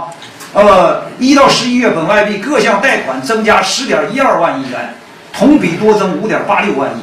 也就是说，二零零八年一到十一月，呃，各项贷款只增加了没到五万亿。那么，二零零九年一到十一月，各项贷款比上年增加了啊，各项贷款和总的增加不是什么，就各项贷款增加了多少？十十万亿多，比上年多增了一倍多。这个就是为什么房价啊，房价会这样的原因啊。同比多增五点八六万亿元。十一月末，金融机构人民币各项贷款，这是人上面是本外币，就是包括外币贷款。那么光算人民币，人民币各项贷款余额，我这是为了全啊，就是没有多大意义啊。三十九万五点呃三十九点五八万亿元，同比增长百分之三十三点七九。呃，人民币各项贷款余额增加，增加量是九点多万亿，同比增加五万多亿。光二零零九年前四个月，中国金融机构各项贷款余额增加近五万亿元，这五个月就用掉了过去一年贷款增加的数啊。那么在这一轮货币扩张中，中国一年增发了正常年景下两年增发的信贷，两年增发的货币，啊，那么这个就是中国的啊简单概括啊，我可以搞简单概括，政府别的政策我不想讲，就就简单就这么两项政策。我再次声明啊，这两个政策原则上是两个不同的事情啊。四万亿当然里头就是有交叉，里头有很多是贷款来的，但是应该有相当大的一部分是财政。而且就说全是贷款来的，四万亿根本用不了啊，是不是？你们看，光呃光二零零九年新增贷款就增了九万亿，你四万亿用得了吗？像发改委说的，这四万亿我还不是一年，我我就是三四年，一年我才用一两万亿，九万亿，那咱们咱们倒是简单问题了啊！我就这么简单说啊，如果这些新增的贷款真都用到政府投资上了，咱们不会有现在我这个敢打包票，不会有现在这个局面，就是。居民购买房的房价这么高涨，为什么？就很简单，这些增发的贷款，它没有流到真正的实体部门，真正去买东西。我们下面还有数据，简单算，真正买东西效果比现在好多了。没买东西，干什么了？在金融市场上捣鼓。所以，自从救市以来，我们看到金融市场上，凡是做金融的有两个好现象：第一个，中国股市触底回升，对不对吧？是吧？触底回升，暴涨了，呃，也涨了差不多一倍了？有了吧？差不多一倍了。第二个，楼市起死还阳，而且还到现在人人痛恨，罪魁祸首在哪儿？就这九万亿。不就很简单的问题吗？下面数字能告诉你，中国这一年 GDP 增长也就三四万亿。你真正说，我增发的贷款每一分钱都拿去买东西了，那就只需要四万亿足够。那五万亿干啥了？五万亿保你，你算算差不多，正好就把房价给给鼓起来了啊，股票也鼓起来了啊。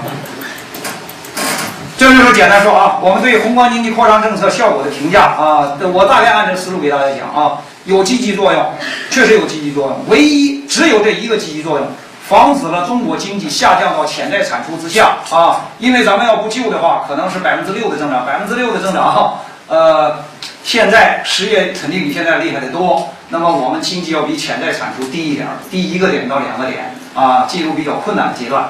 现在政府这个扩张政策防止了啊，防止了短期内失业大量增加。但是消极方面很厉害，我今天就重点强调这消极方面。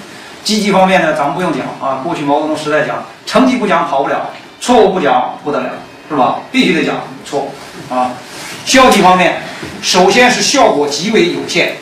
你想啊，第一个百分之三十的信贷增长是超长的。如果对数据关心的人，你去查查中国数据，达到百分之三十的信贷和货币增长的年头，几乎都是中国的高通胀年头。所以高通胀的危险实际是存在的啊。现在当然还没出现高通胀，呃，甚至通胀还没出现，呃，但是呢，这么超长，整个经济增长率才是百分之八，啊，还是相当低的，明显低于过去通常百分之九以上的增长率啊。那么，二零零八年一到十一月，全国完成房地产开发投资啊，同比增长百分之，呃，二二零零九年啊，比二零零八年这一到十一月比，同比增长才百分之十七点八，明显低于二零零八年增长百分之二十点九增长率。结果是有限的，有限性造成一个最大的怪异，就是我我刚刚讲的，中国以当年价计算的 GDP，二零零九年只不过增加了三万亿元啊，当然这是我的推算。就是二零零八年咱们是三十一万亿，那么二零零九年增长不到百分之八，而且物价基本是不动的，所以呢，也就个增长个，就按当年价算，也就增长了三万亿左右，是吧？是 GDP 增长了三万亿，再加上弥补出口顺差，顺差下降一千一千亿美元，这个是要要靠我们自己国内需求增长来弥补。这个弥补我们知道，一千亿美元是多少？算成换算人民币也就六七千亿人民币，顶多有四万亿块钱就够把经济拉动了。结果咱们是花了九万亿，啊，搞了九万亿的贷款，拉动了四万亿的 GDP，啊，就是经济学都讲投入产出比，你这投入产出比太不合适了，是吧？啊。如果增加的简单说啊，增加贷款都变成购买实物的购买力，增加四万亿元的信贷余额就足够了。就是我们往年每年都增，那就零八年增加了五万亿嘛，那就够了。但是中国在二零零九年增加的银行信贷余额有十万亿元，啊，九万亿啊，更严格说是九万亿，就人民币。这个多余的至少六万亿元贷款干什么了？他也都干了。不可能，你不能设想借了钱的人他不干事儿，是不是哈？呃，他又存在那银行，这一般不可能，肯定干事儿，干嘛了？肯定是用于购买那些我我这是很绕嘴的话啊，就念一下，不构成人民收入的实际物品，不是买实际的东西了。所谓中间流通物，中间流通物呢，当然，倒钢材也算，啊，倒钢材就是倒腾投机倒把，倒腾钢材的也算，倒腾厕所的也算，倒腾大粪的都算啊。但是咱们想想，现在他们能倒腾什么？拿着五万亿去倒腾什么？就是金融呗，是吧？要不就是股票，要不就房地产，是吧？就是信贷扩张的另一个坏作用，购买的这些中间流通物通常都是所谓的金融产品，信贷扩张使这些金融产品价格上涨，造成了金融泡沫。我坚定不移地认为，中国现在就是金融泡沫啊！这就成为什么呢？就是我今天讲的重点和主题，主要依靠信贷扩张的宏观经济政策，更恶劣的后果，急剧增多的货币资金，更多的是流进了金融市场。政府本来理由。而且我也相信，政府确实本心是要让它拉动实体的、实际的 GDP，是吧？哪怕你生产钢材，实际的盖房、实际盖房地产，就实际盖楼，不是卖楼，是实际盖楼。盖实际盖楼，他得花钱啊。你去买水泥，买什么东西，是吧？哪怕流到这儿去，政府想让它流，但实际上一多半没流，肯定一多半没流。一多半流，它不会增长这么低的，是吧？一多半没流进去，更多流到呃，造成呃金融资产价格上涨，金融泡沫。啊，结果呢？我们大家看到，就是说我给你们提供一个最简单的数据啊，就是我跟他们说，我说我一看，这个同步性太明显了。政府一紧缩信贷，房房价不上涨了，股票暴跌。你们看看，二零零七年底开始嘛，是吧？政府一放松信贷，不出三个月，股价暴涨，房价暴涨，太灵了啊！其实我背后想，我相信那些基金的老总们都懂的。你看他们早晚都在这推往后退出。很多策略是在那退出，是吧？十万亿元新增资金支撑下，中国的股票市场结束一年的股价暴跌，上证指数从一千六百点上升一倍左右。城市中的商品住宅售价重新暴涨。下面的时候我就简单念几个数据。当然，这个数据大很多人不信，特别是大家认为说楼价上涨的数据，你统计局的明显低估。但不管怎么低估，即使低估，这个重新暴涨是这个趋势是清楚，是吧？只不过是具体数字是多少啊？二零零八年一到十月，全国商品住宅销售额就是卖了多少钱，同比下降百分之十八点二。说地产业寒冬一点都不夸张，就是二零零八年前十个月，这个房地产这帮人卖的那个房子的那个回收的钱，比二零零七年前十个月少了百分之十八呀。这个销售额同比下降百分之十八。那么二零零八年十月，就我刚刚念的数据，呃，同同时来的就是房价涨不动了。十月，全国七十个大中城市房屋销售价格同比只上涨百分之一点一点六，而我现在查这个数据，二零零九年一到十一月，全国商品住宅销售额急剧增长了百分之九十一点五，同比比去年翻了一番儿，就卖房子卖出来的钱啊，它当然要暴涨啊，这么好卖，任何企业都是是吧？东西这么好卖，它肯定要涨价的是吧？你不能怪人家啊，这么好卖，人家不涨价，你。这个事儿我站在人自强立场，你得替房地产商讲设想，这么好卖的东西不涨价是傻瓜对不对？啊，二零零九年十一月，全国七十个大中城市房屋销售价格同比上涨达百分之五点七，五点七。当然，这个五点七还不高，肯定我知道。我一看网上很多人骂，胡说八道，我们这涨都一百了，你还五点七呢，是吧？但是不管怎么地，二零零八年是一点六，这个差距太很明显了，是吧？而国家发改委的报告表明，我看来是一个口径，十二月份这口径就变了，十二月全国七十个大中城市房价同比上涨百分之七点八，那就接近百分之十了，是吧？超过二零零七年全年百分之七点六，就是至少现在政府承认，发改委的权威承认，二零零九年房价上涨的百分比，啊，比二零零七年还低，啊，就是按他们自己的数据，那你就设想涨到什么样啊？普通商品住房啊，而且你要知道，这个房价呢是包括很多营业房啊，就是那个公司的房子，就是咱们这五九自强好像也是这种租租出来的营业房，不是住宅。普通商品住房销售价格同比上涨是百分之十一，这个可能就更接近老百姓的感受，是吧？商品住宅上涨百分之十一。二零零九年十二月，全国七十个大中城市房价环比环比就是这个月比上个月就涨了一个月就涨一点五，一点五当然不太大，但是一个月涨一点五，全年累计可就得二十了啊，就这么个数据啊。那么所以说，所以我一看这个数据太紧，我。立刻坚定信仰，就是这房价很简单，就是信贷里买。你两个数据一对，不太清楚，所以我就叫号。谁说房价不是信贷搞的？你敢不敢同意我这要求？咱们去联名给中央政府上信啊！你就是把信贷给我降到一年增长百分之十五，然后那个那个什么 个人消贷一年就是只剩下四千亿，不准再多，敢不敢？给他连干两年三年，我看他房价还跟我涨，谁敢跟我打这个？我就叫这号，那你不，我不管他叫什么强什么东西，你叫咱叫这号是吧？别的我还不跟你讲什么理论，什么理论都不论，就这个，敢不敢？啊？那么还有一个数据，这十一个月里，中国商品住宅销售额啊，没有查到直接数据，总共是整个这个呃这个商品房是卖了三万五三万五千亿，但是里头有一块不是住宅啊，所以按照往年的百分比估算，这我都做过估算啊。估算呢是商品住宅销售额接近，但是不到三万亿。这十一个月里，光是用来购买商品住房的个人按揭贷款就有七千零九亿，就是四分之一的资金来源于个人按揭贷款。而这个个人按揭贷款有数据的，就零九年这个数据比零八年翻了一番儿，零八年还不零八年还不到它一半儿。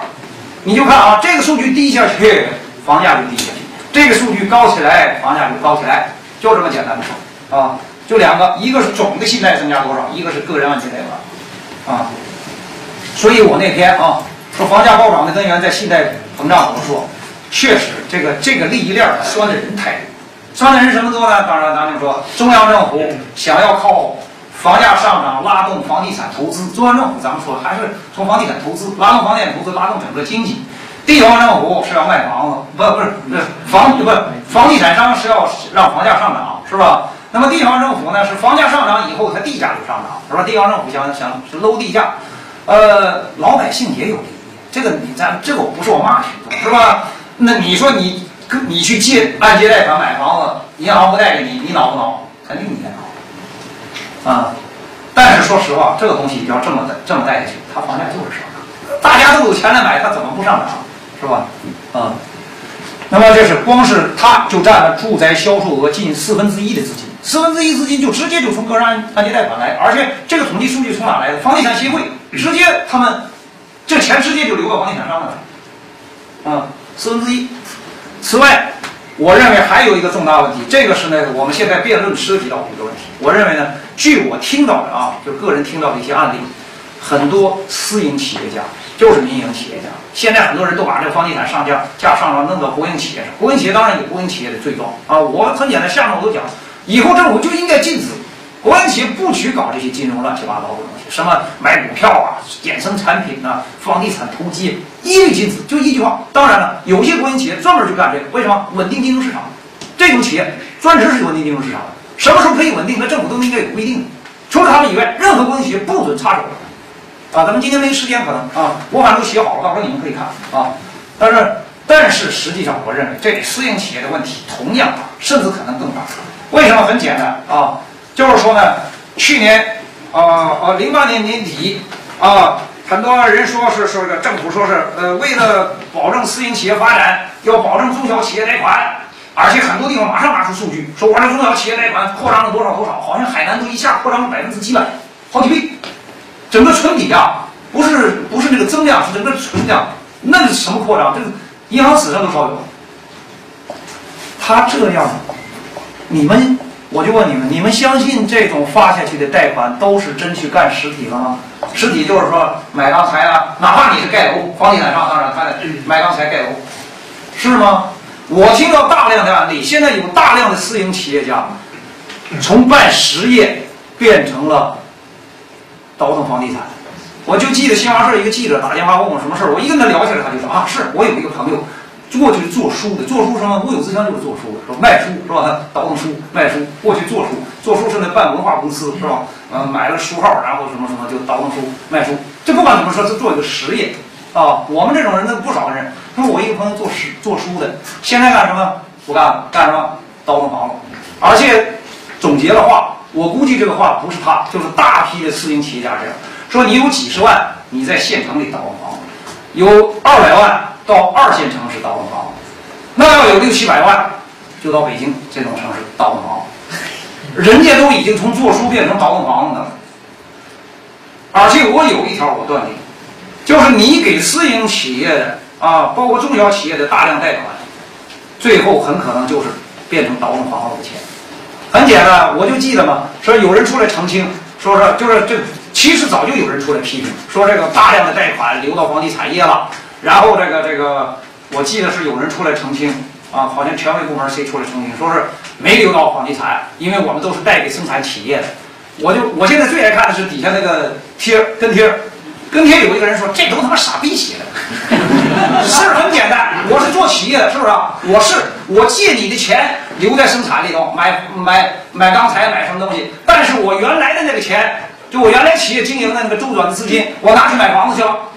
你说没流进是没流进，流没流进，就这么简单吗？你要不给我贷款，我当然我这个钱还得在那买房子买买什么？不是我我还得再做实实业，是吧？你现在一给我钱了，我是你给我这个钱，你可能在那监控着，我在这做实业，原来那钱拿出去当房地产，不是一回事吗？这种私营企业你堵得住吗？而且我听到大量案例是整个这个企业家自己所有的资金都变成去倒腾房地产了，他不做书了吗？我不是听到一个案例。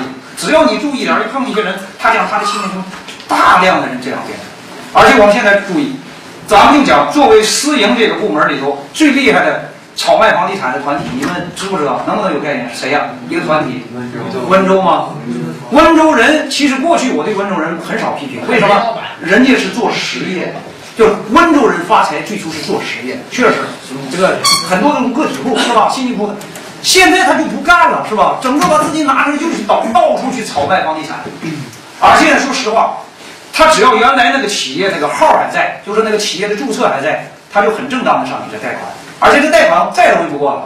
就是我原来有套房，我都知道很多私营企业就是，呃，贷款嘛，你得有抵押，抵押就是我自己家的房子抵押，是吧？很简单，往下这个业务，我我就告诉你怎么做，是吧？我自己家的房子做抵押，我我说我贷的款根本不是做房地产啊。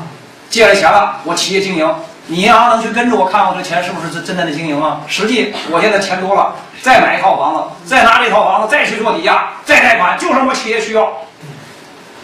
我就听说有人一一做都都已经五六套了，干什么？专业倒腾房子，专业倒卖房子，理由是什么？企业经营需要资金，而且银行也放心贷给他。不是银行的，你有房子抵押，我怕什么呢？对不对？咱就贷吧，办成车就贷吧。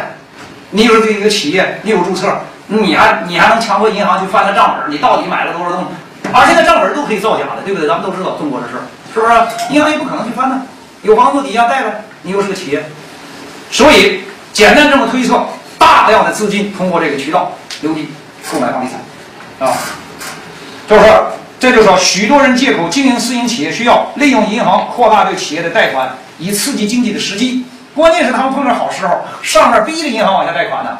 我都听过很多热闹，越听越热闹哇！简直是上面逼着贷款，贷款当然了，这有来了说我这私营企业没资金了，你看上面还有政策，扶持中小企业，敢不贷啊？不敢不贷啊！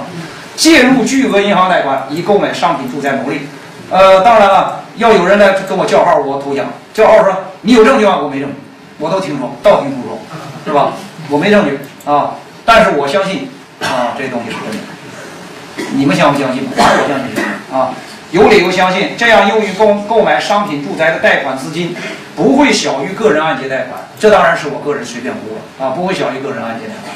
这种人借钱也容易，花起钱也大手笔，他总不会比那些借个按揭贷款的那些穷鬼是吧？钱少吧，是吧？不会少于的，啊。就是我这讲这个话啊，这后一种人可能没有直接用银行贷款买房，但是他们可以很容易啊，将很容易介入的银行贷款用于企业周转，而把原来用于企业经营的资金替换下来买房啊。当然，他只要认为买房子能赚钱，因为现在这帮人全是这个铁定的信念，他们都相信银子强的，中国的房价永远涨，永远涨，你买买你贷款买房就是合适的，对不对？没有还不上的问题，我不就是把房子将来卖了再再再还贷款吗？就这么大事儿，是吧？你现在利息率多高，是吧？只要一年房价上涨百分之二，咱们上涨百分之七点几，是吧？绝对是赚回来。啊，这样，二零零九年的商品住宅销售额，这是我简单我自己估，至少有一半靠的银行贷款支持，没有银行贷款，还有一半资金没来啊。贷款资金造成的需求，同时引起房价上涨啊。这个就是说啊，这个就是我做的具体分析，到这儿结束啊。下面咱们就讲原则的了啊。这就主要依靠货币政策调节宏观经济。二零零九年给我们造成了一个两难处境，就是说，因为我们把这个刺激总需求，主要刺激总需求的手段主要放在货币上了，放上货币就是增加银行贷款了，是吧？结果呢就是这个两难。你要是不大幅度增加货币供给和贷款，总需求明显小于。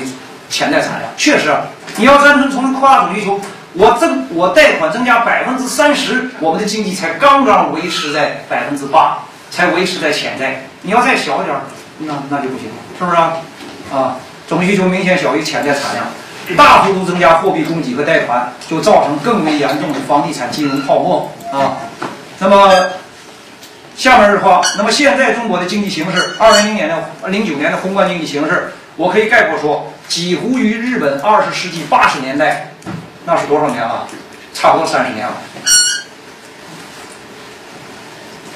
和日本二十世纪八十年代，我再强调的，和日本二十世纪八十年代泡沫经济时代几乎一样。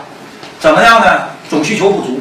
就日本经济呢，呃，二十世纪七十年代高增长，啊，八十年代呢增长率掉到百分之四到五。在西方国家算比较高，但在日本是低增长。因为日本六十年代，就是八十年代之前再往前十几年，日本是年增长百分之十啊，和我们现在差不多？你想掉，中国要掉个百分之四五了，是不是低增长？是吧？低增长，总需求不足，而且呢，确实物通胀率很低。日本当时啊，八十年代泡沫经济时代，通胀率很低，就像我们现在的，就 CPI 一年是百分之二、百分之几，那在在当时是很低的通胀率，总需求不足。那么日本政府就放心大胆，因为它也没通胀啊，就是扩大货币供给。这个扩张政策啊，没有造成严重的通货膨胀，但是造成了惊人的金融泡沫。岁数大的人大概都能记得，八十年代说日本东京一块地就那个地价就相当于美国全国土地价格，怎么怎么样？那都是泡沫啊。呃，后来二当然二十世纪九十年代日本泡沫严重泡破裂。大概说啊，就是很简单啊。就是最后的数据，后来日本九十年代末期稳定下来，最后的数据能什么？就是泡沫时地价比泡沫时期大概跌到了三分之一，就是地价比泡沫时期最高点降了三分之一，很多中心区的房价降了一半左右。这个一般的国家房地产泡沫破灭之后都是这个概念，就是说房价地价呀按照这一半啊或者三分之一来下降，下降这么多啊。简单说，谁认为房价只会涨不会落，那是那是混球，恰恰是不懂市场经济。市场经济的特点就在任何东西的价格都可能涨也可能落，没有没有任何东西房价价格只能涨不能落，不可能。啊，你要讲跟我讲道理，当然咱们可以慢慢讲啊。我拿经济学家那套推理再慢慢给你推，但是就这么一句话，不可能。任何相信这个的人，最后就会倒霉。相信什么？很简单，你像这个日本有一左派资本家，红色资本家叫 T 型二。那个人是，据说是日本属于首富一类的，呃，就是说，呃，大概相当于咱们说李嘉诚这样的人啊。这提琴二呢，为什么说左派呢？他是日共的，他支持日共。呃，我导师朱绍文，我和樊纲是一个导师。朱绍文，他曾经资给朱绍文好几万美元，那是九十年代初啊，好几万美元干什么？人家是干好事，加强中日经济学界交流，就是由朱绍文老师掌管这笔钱。从此以后，我们中国社科院经济所和日本东京大学，因为 T 型二跟东大的人关系很好，和日本东京大学做的学术交流，就拿这笔钱，就等于像个基金似的，是吧？就花这笔钱。呃，当然我们经济所邀请日本的学者来，东大学者来访问，用这钱。啊，当然这钱并不多啊，但是当时九十年代初啊，那几万美元是很很像样的一笔钱啊。就是这人，朱老师最后头几年告诉我们，他就是泡沫的时候买了东京一块地，最后这块地价格暴跌，暴跌到最后，朱老师说，他的他把他在西武电器的那个股份都拿出去了。我一听就明白，就是这块地啊，朱老师说的很清楚，我听了知道，这块地一定是他贷款买的。贷款买的有抵押是吧？拿他本人的股票、本人持有的西武电器股票等等做抵押，那么最后这个钱还不上，因为地价暴跌了，跌到最后，那么他只好是把自己的股票都赔进去，退出商界。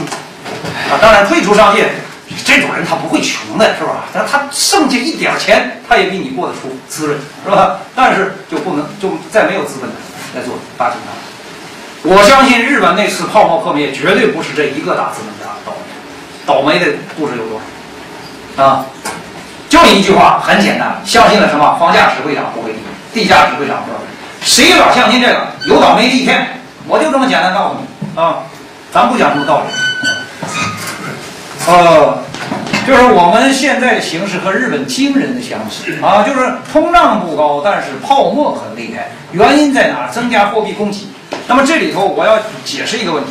很多人都说说日本那次的泡沫经济是由于美国逼迫日元升值，啊造成的。呃，确实那次泡沫和日元升值有很大关系，但是实际上要严格的说，不是泡沫不是由于日元升值，是由于日元不升值。为什么呢？理由很简单，就是我看到一个材料，当时在日本中央银行搞操作的那种司长级的人，就比方我们就像我们相当于人民银行的司长这一级的人，最近。访问中国做的报告写的东西说的明确说的，他说当时的实际情况是什么？确实，美国广场协议大家都知道，美国广场协议逼着日元升值，是不是？日本当时你我们知道，美日本战后一直是像美国小跟屁虫似的，美国逼着你升值也不好不升啊。但是日本心里极其不愿意升值，日本的官方都是不愿意升值，不愿意为什么？问题又和我们中国现在一样。日，我们中国就跟日本学嘛，出口导向嘛，是吧？你一升值还怎么出口啊？出口拉动经济嘛，是吧？谁都明白这事儿，他不想升值，不想升值，但是又不能不升值，所以呢，实际采取的官僚几乎都会干，表面上升一点儿，但实际上做一些小动作，想少升，少升，怎么少升呢？就是低利率，因为咱们家都知道低利率嘛，那这个货币的升值的压力就低，是吧？维持一个低利率，就日本中央银行利率低，利率低，你势必扩大信贷。是吧？所以实际上他们不想升值，所以还特意压低利率，在搞小动作。压低利率呢，就是扩大信贷，他不得不扩大信贷。那么整个社会上资金泛滥，而且日本人他掌握了，他觉得他自己掌握了，只要没有通货膨胀，是吧？货币多点没有事儿。他们就想，因为物价就是 G CPI 这东西没上涨，但是没想到这多余的钱就流到股市上、房地产市场，结果造成一个惊人大泡沫。你说中国现在和那像什么？你们现在想，几乎一模一样，所以实实在在的告诉你，我们中国面临着日本式的泡沫经济啊，这个我说上午我们某些精英，不是全体，某些精英达成共识。你像这个黄少安啊什么，大至少有四个人吧，我们是，就是大家互相讨论在那补充，就是这么一个共识。不，黄绍安先警告，他当时他先警告，说这个太像日本了，和日本几乎一样。我说这一点都不差，而且原因都在这儿，过度扩张信贷。实体部门没有需求，啊，你拼命扩张信贷，结果钱都流到房房地产上去，股东那儿去，啊，一模一样。这个，呃，那么这就是我对二零零九年的整个评价啊，别的细节我就不想说了。那么展望二零一零年中国宏观经济形势，呃，交代几条。第一条啊，大家都很多人问是通货膨胀，就是 CPI 这东西会不会上涨？根据我的测算，这么说。就是我刚刚说了，中国现在呢，现在可以说甚至就此刻，我们大概大概我们的实际产量正好就处在潜在水平上啊，就是生产能力水平上，正好合适。那么呢，我们知道一年中国的潜在产量正常情况一年增长百分之九点几，啊，这个还可以相信，还能保持九点几。也就是说啊，这就说二零零九年中国实际产出并没有严重的低于潜在产量，基本上相当于中国潜在产量。在这样基础上，大力扩张总需求的宏观经济政策绝不是不可能引发通货膨胀。我这话挺绕口的，是吧？就是为了严密，别叫人抓住。我没有说一定通货膨胀，我也没说一定不通货膨胀，是可能啊。呃，特别是如果你扩张过了劲儿的话，是可能的。但是呢，我现在不讲信贷，因为信贷这东西没法说清，就一条，你记住增长率啊。如任何宏观经济政策，如果使中国2010年的经济增长率明显高于百分之九，中国就可能开始落入新一轮的通货膨胀。而且这一轮通货膨胀，简单说，是因为2007年已经出了一次，咱们这那个没彻底。简单说，那次反危机没法彻底 啊。呃，这个事儿比较接近于中国1986年的事啊。86年是这样，中国85年中国出现了一次大的信贷膨胀，那是由于银行改革造成的。信贷膨胀之后，85年增长率过高，但是通胀率也很高。岁数大的人应该能记。然后86年中央紧急紧缩，甚至下令打电报向地方拍电报，当时还不像现在这个也没有手机也没什么，是吧？拍电报下令停止，就是卡住信贷，不许信贷扩张。结果86年中国的增长率掉了一半，掉了八点几，很像现在掉了八点几。然后中央一看增长率掉下来了，不行了，还得扩张。这个呢？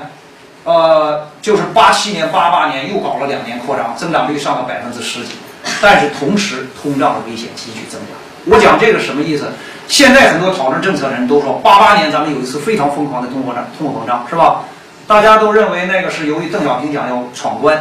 其实，在我看，他现在有基础，就是有货币基础，这个基础是八七年、八八年两年扩张造成的，再加上邓小平一说闯关。中央的报纸又登了闯关，给了老百姓一个信号，就是大家直接就就相信就要通胀了，那真就涨起来，就是不是简单的说一个闯关就能搞来搞的那么大的通胀，实际上是八七八八两年过度扩张造成的。为什么呢？那个时候就发生中国经济一场有名的大论战，那场论战里头，改革派的人分裂了，改革派的哪一呃就是这个北大的宋国清、张文颖。周其仁他们这批人啊，主要是周呃宋国清啊，是认为经济不热，还有一些人，比方华生他们这些人啊，这是一派。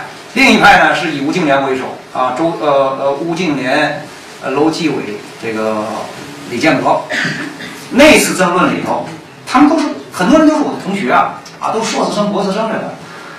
我是基本支持吴敬琏这帮人，我跟吴敬琏的关系主要是那时候关系，呃，就是他们，我认为。后来事实证明，他们说的对，总需求太膨胀，导致了八八年、八九年严重的通货膨胀啊。那么这个角度看，中国又有点像那次，就是八六年那次紧缩半途而废，后来又落入了紧急扩张。咱们是八八年这次紧缩半途而废啊。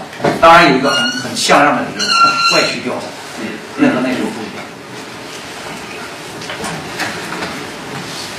呃，但是呢，我们说啊，就是这么简单说啊，就是说，如果你的扩张导致二零一零年增长率明显高于百分之九的话，中国就可能开始落入新一轮通胀。这个我比较有把握啊，特别要百分之十了，你就等着吧，通胀就来了啊。因为到零七年什么什么，这都挺准的啊。呃，而且我们看吧，你稍微扩张的像点样，还没到百分之九呢，咱们那个 CPI 已经是正数了，是不是？但是如果货币和信贷增长率不高，啊，那么正正倒过来，正不增长货币，也不增长信贷，那很可能，很可能重新，就像我刚刚说的，一年信贷增长百分之十五，这个个人按揭就个不是七千亿、三千亿、四千亿，等着吧，马上房价暴跌。但是确实出现什么呢？先是股市、城市住宅售价暴跌，紧接着房地产投资下降，紧接着可能别的什么钢铁啊。通钢的那个那个钢也都 卖不出去了，熄火了，什么啊？引发新的经济衰退，是一个非常两难的境地啊。当然，咱们肯定，很多人讲，那是不是我们是不是可以找过一个很好的货币信贷政策？就是不多也不少，正好在中间点上，也不过热也不过冷，对吧？你找一个数啊，你说百分之三十还是行，百分之三十太多了，那咱百分之二十五，百分之二十少了，咱百分之二十五，是吧？找一个正合适的数。但是现在告诉啊。你这个正合适的数，一定是个什么情况？经济不过热，经济可能不过热，通货膨胀可能没有，但是泡沫，就房地产泡沫非常厉害。你看现在这情况就是吧，是吧？就是说我就说，短期内似乎可以通过把货币信贷增幅控制在适当幅度上啊，咱们找一个最优，两头都避免，同时避免上述通货膨胀、经济衰退两方面灾难。但在中国目前的形势上，这样的啊适度的货币政策必定是一个引发金融泡沫的政策，因为实践已经在这儿，金融泡沫已经起来了，是吧？为什么呢？就是实体部门总需求不足。讲的实体部门总需求不足，不足的原因是什么？利息利利润低。起，你很简单，温州那帮人为什么他不做实体了？你不能怪他，他肯定是不挣钱，对不对？利润不足，利润不足呢，他有了钱，他也不搞投资，他去干去干什么？他去买他认为能挣钱，他认为什么挣钱？房价到现在还没降过呢，他一定认为房子，这人正常心态是不是？房价一直在涨，那么肯定买房子。挣钱，他就买房子，他不盖房子，他买房子，听懂我说没有？啊，你给他钱，他干这个。目前中国实体部门总需求不足，原因在什么？企业盈利空间小，因而投资意愿低。这种情况下，扩张总需求的货币政策压低利率，但是这个利率并不能解决投资意愿低的问题，因为人家认识肯定说，我搞实体啊，我本钱都赔掉，你利率再低能是负的吗？它总得是零以上吧？我根本就还不上，所以根本不干这事儿，不能干实体。贷了款，咱就去买房子，因为房价只会涨不会降，对不对？你不能怪他，你过去就是房价一直涨不降啊。啊，结果呢，引发房地产这一类金融资产价格上升，再加上中国最近二十年都没有面临过房地产售价长期下跌的形势，基本上确实没有面临过。金融投机者们中间已经造成了这么一个极强的房地产售价只会涨不会跌的预期，增多的贷款多半会被债务人拿去进行倒卖房地产的金融投机活动。恰恰因为市场经济是个自由经济，你贷了款，你管不了那些贷借钱的人。人家一定拿去倒腾，你还真就管不了啊！这个就是我现在拿来啊，给左派讲这个才真讲得通。这就是私有制的市场经济它的优越性，呃，自由，你管不着是吧？我借了你的钱，我去倒腾房地产，你管得着你啊？多半会被债务人拿去倒卖房地产，金融投机活动，这样增多的货币和信贷。在足以造成实体部门逐步的总需求之前，你还没能把实体部门拉起来，泡沫先起来了。现在中国就这个情况嘛，对不对吧？啊，而且你这么干下去，这个问题只能更严重。日本呢，八十年代泡沫搞了十年，这个十年严重到什么程度？我头几天就看就看什么讲索罗斯，大家都知道索罗斯吧？索罗斯最近也挣了大钱，但索罗斯现在都讲他失败过两次，一次失败就是八十年代。他说八十年代，他一看日本的股票市盈率，咱们都知道说市盈率高就是你股票价格太高了，说这个玩意儿不能挣钱了。他从日本退出了，他已经挣了一笔，他退出了，退出回到美国去了。美国的市盈率低啊。他说美国的，当然他前提是什么？他认为日本的快要崩溃了。这是八七年，结果他刚回美国，咱们大家都知道，八七年美国有一次股灾，把索罗斯栽在里头了。你要在日本还继续挣钱呢？其实索罗斯说的对不对？对。不要说到八七年，我相信八五年，呃，八六年日本就开始有泡沫了。但是，但是这个泡沫一直延续到九零九一年才破。这个当然跟政策有很大关系。我马上打找九零九一年我在德国，我就从德国的那个报纸上读到一条消息，说日本接受了巴塞尔协议，啊，巴塞尔协议是管制银行的，就是说必须提高你这个资本叫什么资本金比率，是吧？资本，所以呢，日本各大银行开始紧缩信贷。我说好了。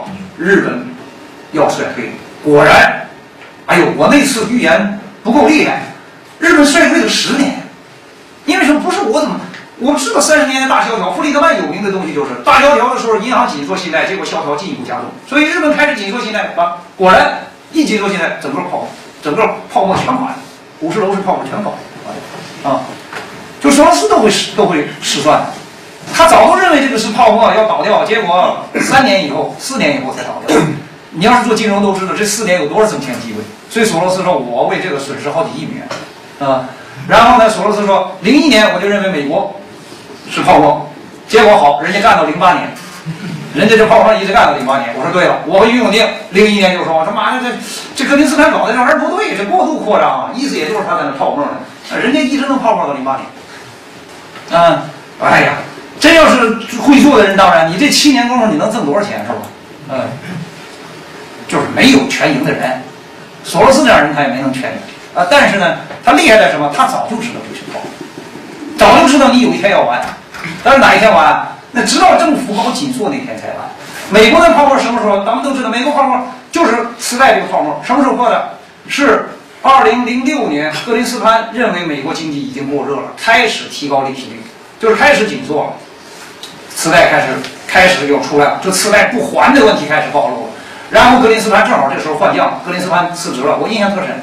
伯南克上来，伯南克上来，当然了，我在那儿也得实行这个政策，紧缩，紧缩，紧缩，紧缩到后，啪，整个次贷的危机全部爆发。那这都和政府政策有紧密联系。政府政策什么时候做呢？现在看来都公共的。日本那是个特例，就是接受了巴塞尔协议，是吧？一般来说都是通货膨胀厉害了，政府它肯定要紧缩，不紧缩能行吗？那老百姓都得骂你，是不是？这个。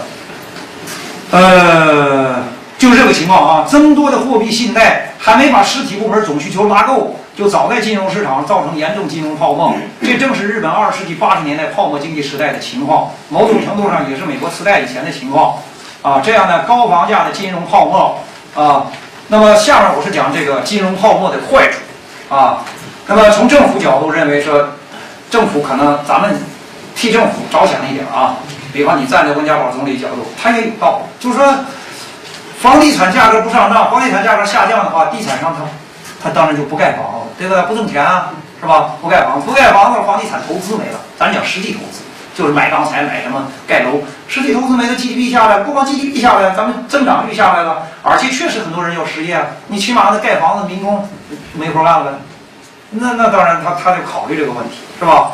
这个，所以呢，这方面不是说政府没有道理啊，它确实确有一定道理，但这个道理呢很糟糕，糟糕在哪儿呢？就是说这样的投资，房地产投资，咱们讲是实际投资啊，不是你买房子这样的投资，前提什么？房价不断上涨。这个房价上涨，即便就讲在座的各位，你们能借到个人按揭贷款，把这么高房价的东西买下来了，后果是什么？就对你们个人，咱不讲对国家，后果是什么？你们说后果什么？房奴呗，蜗居不就演这个事儿吗？是吧？你一个高价，我就问你很简单嘛，你都想买一百米的房子是吧？你是五千块买的，你还贷的压力大，还是一万块买的房贷还贷压力大呀？房价越高，你还贷压力越大吗？你越是房奴吗？是吧？那么，所以我就说，那么结果呢，导致我们大家啊，我这顺便讲起来，我这上没写啊。现在我想想，就是，整个这个房价上涨就只有三个前途啊。第一个前途。就是说，为了避免你们这位呃，就是买这个借钱买房的人成为房奴，有一个办法让你收入提高。但是怎么提高？市场经济政府不能给你涨工资，政府可以制造通货膨胀，就是 C 就实际的 GDP 这个 CPI 这这些东西。通货膨胀情况下，你你的工资也会涨，一般涨，不是说个别的，就是每一个人都涨，但是一般情况下，大家的工资都会涨，对吧？都会涨比较快，就不是说每个月都这样，每个人都这样，但是一般情况下，大多数人。他会涨，那就是什么呢？让你挣的钱和房价一块涨，这个当然了，你就可以避免当房奴。但是我这敢敢打保票，只要通货膨胀起来，老百姓就这样。你说他贱也行，他肯定要骂政府，他骂你搞这物价上涨，是吧？咱们看零七年就是，啊，老百姓他总是想，我又要挣的钱多，又得物价不上涨，老百姓肯定这样。说你通胀起来，老百姓肯定骂他。其实他是让你不成房奴的好办法。一般的通胀的时候，你的收入会增加。很快，这不是绝对的，但是一般情况应该是，这是一条路，搞一个通胀，真正的通胀。第二条路就是没有通胀，你们老是还贷，那就房奴，对不对吧？你就是房奴。第三条路没通胀，老子不还贷，不还贷什么结果？金融危机，经济垮掉。现在这个房价上涨，你想想还有别的可能吗？只有这三条路，是吧？就是把我们引到这三条路上。三条路任选其一，但是我认为哪条路也不是好路。你们同不同意吗？反正我是这么认为，哪条路也不是好东西，是吧？不应该走这个啊，我们就不应该走到只有这三条路选择的这么个地步啊。那么说，我这里就讲了啊，高房价金融泡沫逼迫买房者减少其他方面的消费。我这忘了加了一句，就是如果没有高通胀的话，他的收入不会增长很快。那么怎么办？要还就是那蜗居里写的，他就得把别的消费减少。政府好像是增加了投资，是吧？因为这个高房价嘛，房地产商盖房子投资，但是那头老百姓消费减少，就简单说，老百姓不消费，直接原因之一，你们承认不承认？就是高房价，是吧？你你想想，面临着还贷，拿高房就是买了高高价房的那些人面临还贷压力，他能消费吗？他消费得起来吗？他也没心情消费，是吧？啊，减少其他方面的消费，最终是抑制总需求的有效扩张啊。但是短期内高房价能够刺激房地产投资，那地产商他不管，只要房价上涨，老子就盖房，是吧？这就是一个权衡了。地产商倒是乐了，他在那投资，而且政府的 GDP 也拉起来了，他就忘了 GDP 那头没拉起来，因为人家不消费呢，是不是？就是那个那买房的人不消费啊。虽然也能扩大总需求，但是这典型的畸形扩张的总需求啊。总需求这种畸形扩张的弊端是产业结构畸形，盖过多的房子啊。中国盖房子盖的世界第一，我就很想，中国现在这样真有点像慈禧太后的时代。有一个进步，慈禧太后的那个颐和园是只盖了一个颐和园给她自己盖的。中国确实是盖了大量的好房子，确实是享受的人绝对比慈禧太后多，是吧？这是这是好处。但另一方面，一样的地方在哪？慈禧太后把钱有钱拿来盖房子，没钱拿来，我就讲一个最简单，没钱拿来搞军队。他把那造颐和园的房子，咱们现在都有数了，是吧？把那钱拿来再买两套巡洋舰，人家很多人说嘛，甲午海战就是咱胜利就应该是咱们，不是日本人。结果甲午海战一打败了，中国拿了两亿两白银去赔给日本人。你们去看吧，是两亿两还是四亿两？啊，反正是中国多少年的财政大印里头，啊，不用讲数字，反正一个很可怕的，在当时绝对是个可怕的。这就是中国现在干的事情，是吧？有钱盖房子，就是盖个房子，而且这个房子不管怎么说，也是只有少数人能够享受的，大多数人享受不上的。这点又有点像颐和园，是吧？那年头，他就没钱搞军备，我不用讲别的，军备你中国军备，你要跟美国打行不行？你现在我就问你这一条，你跟美国打行不行？包括跟日本打，你敢保证能打赢吗？就这么简单，敢保证吗？啊，咱还不讲别的，谁敢保证有一天不打仗？没那个人给你保证的啊！我是不相信啊，绝对不打仗。这样呢，就是这样扩张的总需求，一般都会造成最终破灭的金融泡沫。这实际上是不利于总需求的扩张，就长远它是不利的啊！它把这些房农的消费都给抑制住了，是吧？啊。更危险的是，一旦高房价刺激的房地产投资，真的像在二零零七年中国那样，造成了一个实体部门的经济过热和通货膨胀。就是你真拉动的一定程度了，真把经济拉起来了，还坏了，通胀起来了，物价上涨了，那政府肯定要紧缩的。因为不用别人，我要骂政府，你们肯定都拥护，都鼓掌啊！我说，我那时候就说，这个政府政府他妈就不管人死活，就是他妈要 GDP，然后他妈物价上涨，老百姓你不管，肯定老百姓都鼓掌。所以政府一定要紧缩。那时候肯定紧缩，啊，一紧缩什么样？稀里哗啦，你就看着日本的紧缩了，美国紧缩，没有一个紧缩的时候，所有东西都掉下来啊。那个时候呢，货币当局必定实行紧缩性的货币政策，遏制通货膨胀。那时候货币紧缩，货币信贷紧缩，将打破房地产售价暴涨的金融泡沫。二零零八年初，咱们就已经看过这次啊，不仅通过金融资产价格暴跌，造成大批人破产。而且很可能造成金融机构的巨额不良资产，甚至造成金融危机。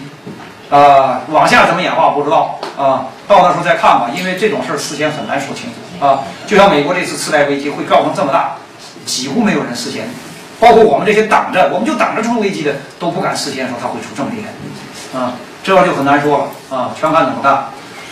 那么总的来说啊，我就概括一句话啊，总之，如果政府继续像最近几年那样。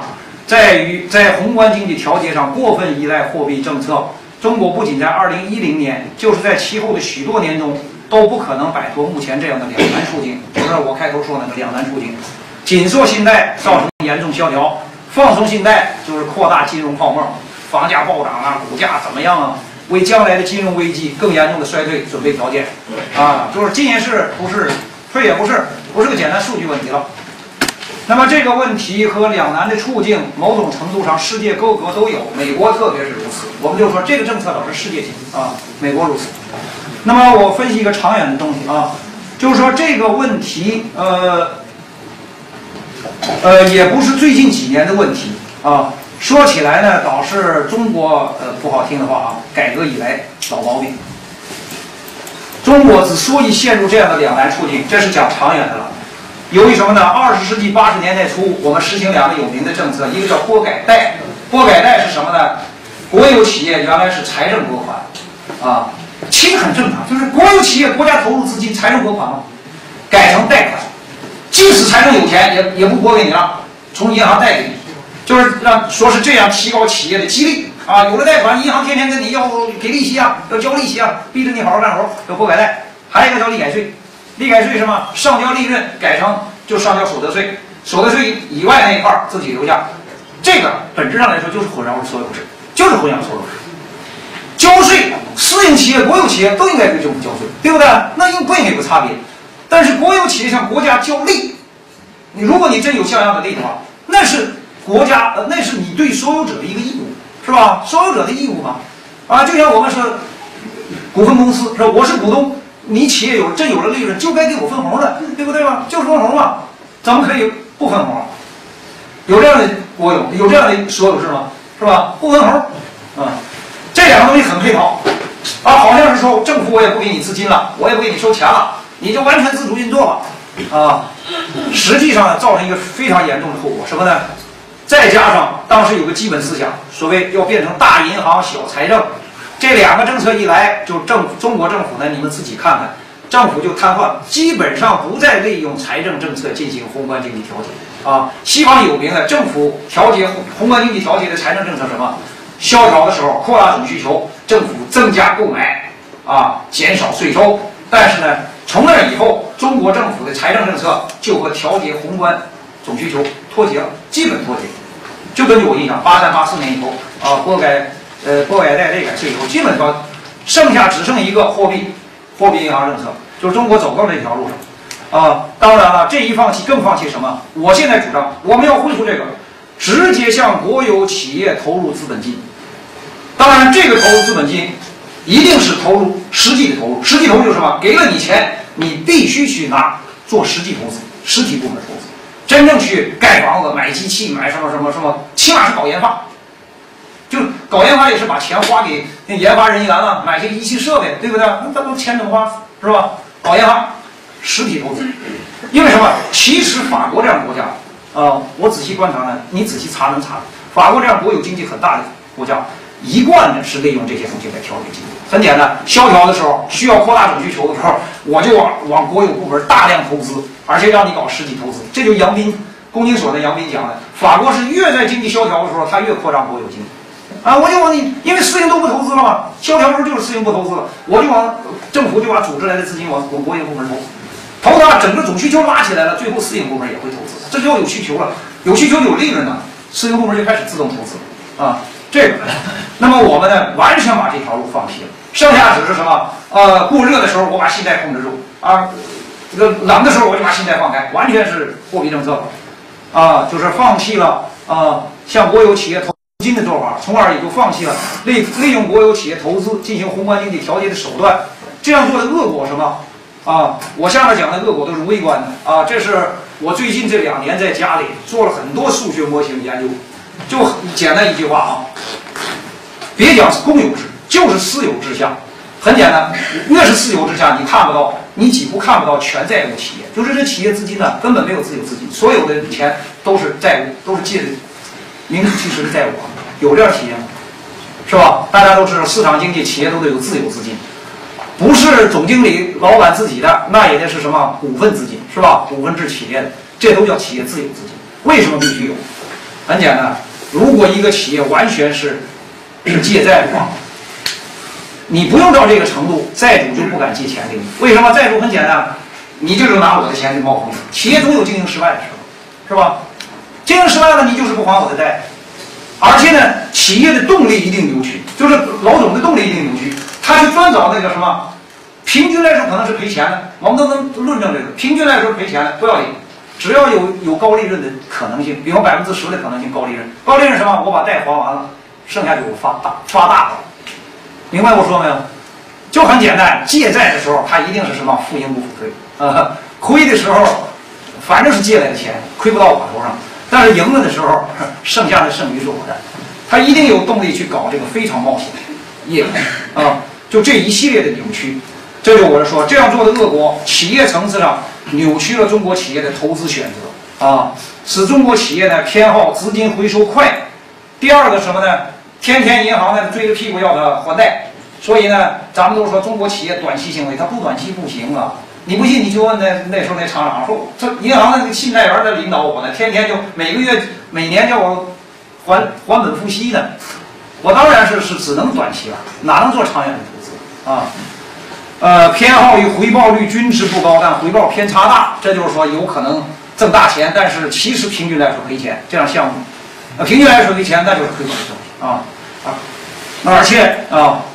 还有一个，我这忘了什么，就是我们都说说中国国营企业为什么这二十几年技术不进步？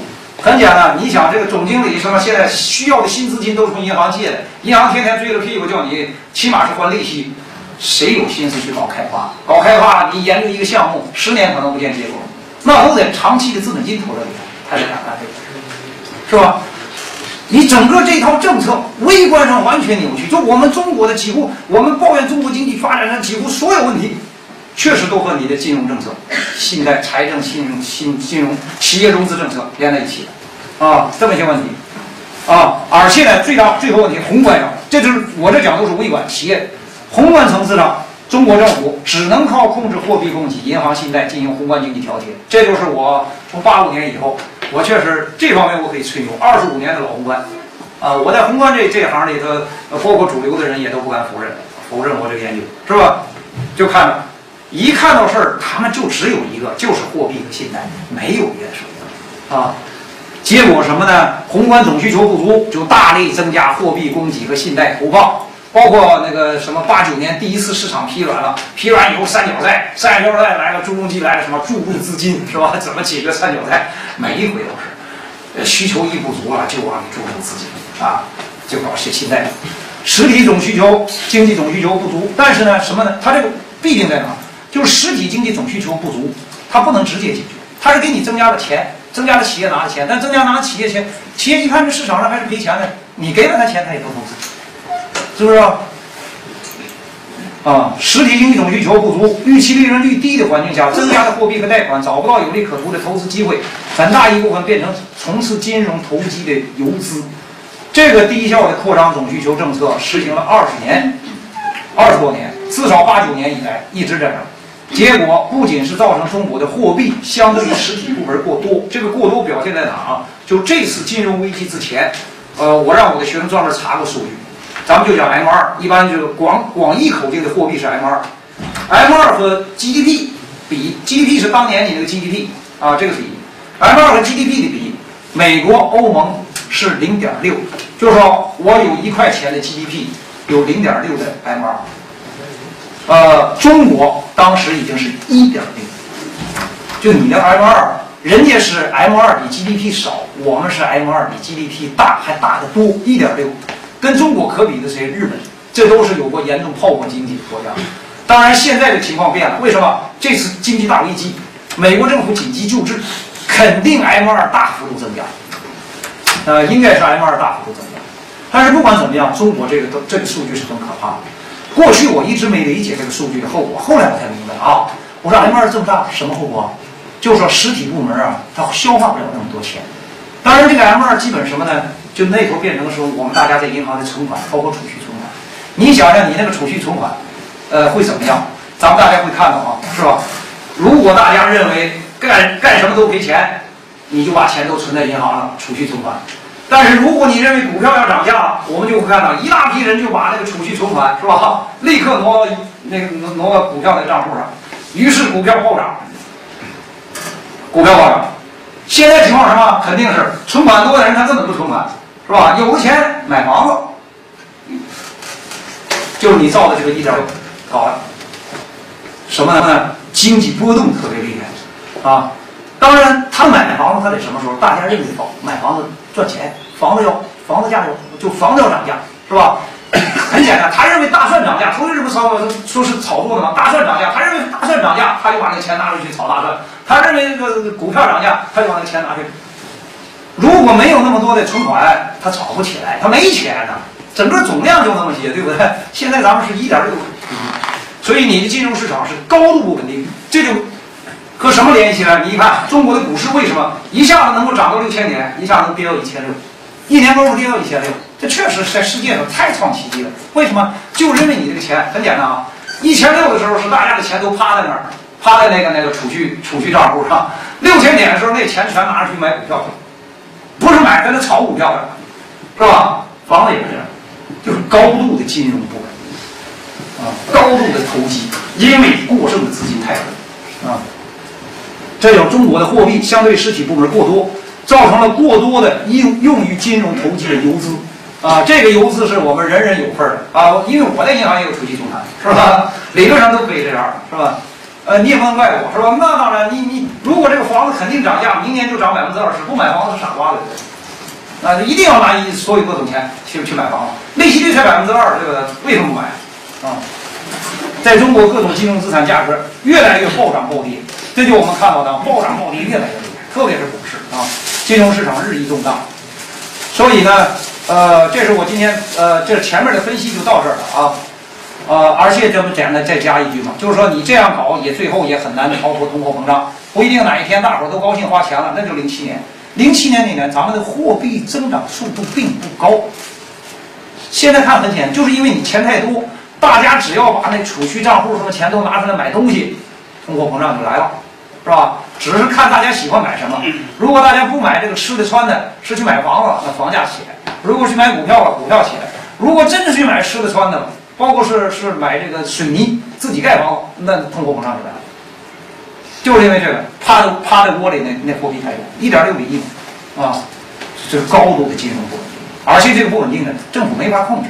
你看过去，那你像美国那零点六，那政府不行了，那注入啊，因为政府有很大。你想美国注入注入 M 二扩大到中国一点六，它得注入多少多少钱？它得翻两番，是不是？啊，有的是空间的，咱们现在这空间越来越小。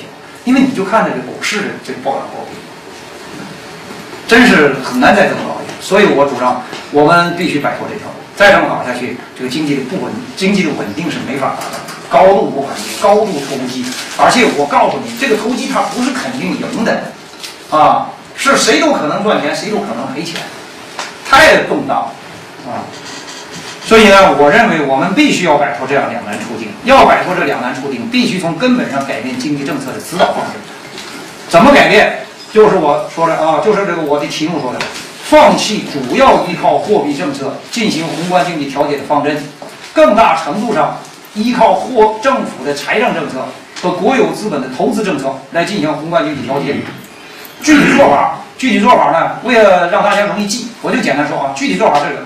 在国家的经济建设和宏观经济调节中，建立一个坚实可靠的计划核——国有经济核。我们不想用计划涵盖整个经济所有部门，但是要有一个核心，坚定的核心。这个核心是有计划的，这个核心是国有的啊，当然也可以有非国有部门，但是你得加入到这个计划序列里头来啊，以此为了核心来有效的调节投资和总需求。策略很简单，像法国式，总需求不足的时候就就往这个核心里投投资。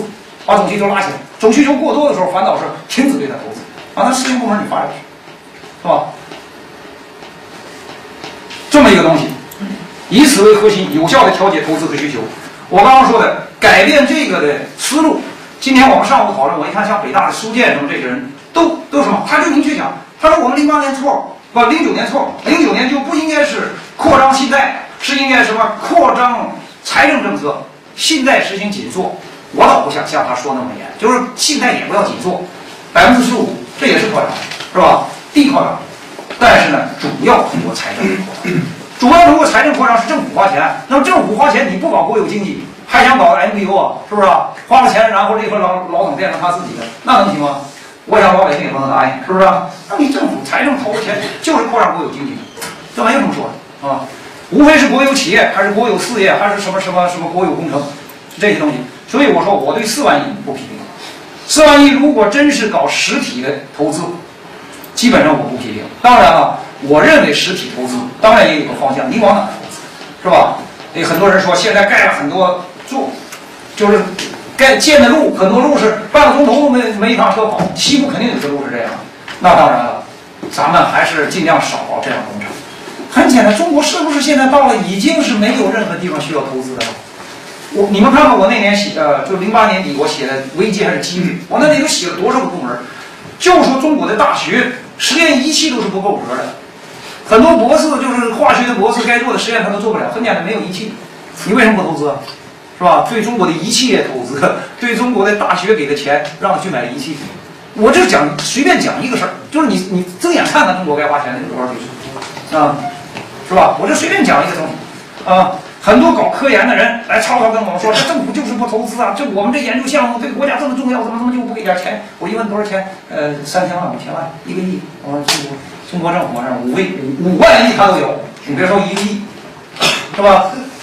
就是这科研人员浪费，浪费到哪儿？顶多他他也有点儿呃加工技师，是吧？他吃了，这我都知道，项目也有腐败，是吧？拿去吃饭了，然后都到项目里报销。那也拉动内需呢？你不就是为了拉动内需吗？是吧？那你总比贪官能贪掉好啊，是吧？总比这么吃到房地产泡沫好啊，是吧？对吧？当然，我不是鼓鼓励这种这个这个这个有点有点变相腐败的行为，就是实际上你在科研上真投入，入入半年必有回报。你不能说科研它是这个东西，你不能说我投了钱，这个项目就一定有回报。但是你投了十个项目，真是投入足够金，里头能有一两个、两三个的回报，而且是很大的回报。在这个回报一般都能把那十个一块钱赚回来，这就风险投资的基本基本精神嘛，是吧？这个中国人会讲啊说，哎呀，科研难赔钱，是啊，十个项目有九个不成功，这我承认，只有一个成功。但是比尔盖茨那成功了，他就把所有那钱都挣回来，对不对吧？你风险投资就这基本思想，嗯。你政府都连这点事情都不明白啊！一碰到科研投资，他简直都不知道他怎么抠门儿。啊，他这边盖的没有用的桥啊，当然了，盖没有用桥也比不盖强，他总归还是有人走的，是吧？呃，所以说我说这啊，就是说这个计划，咱们就底下慢慢谈。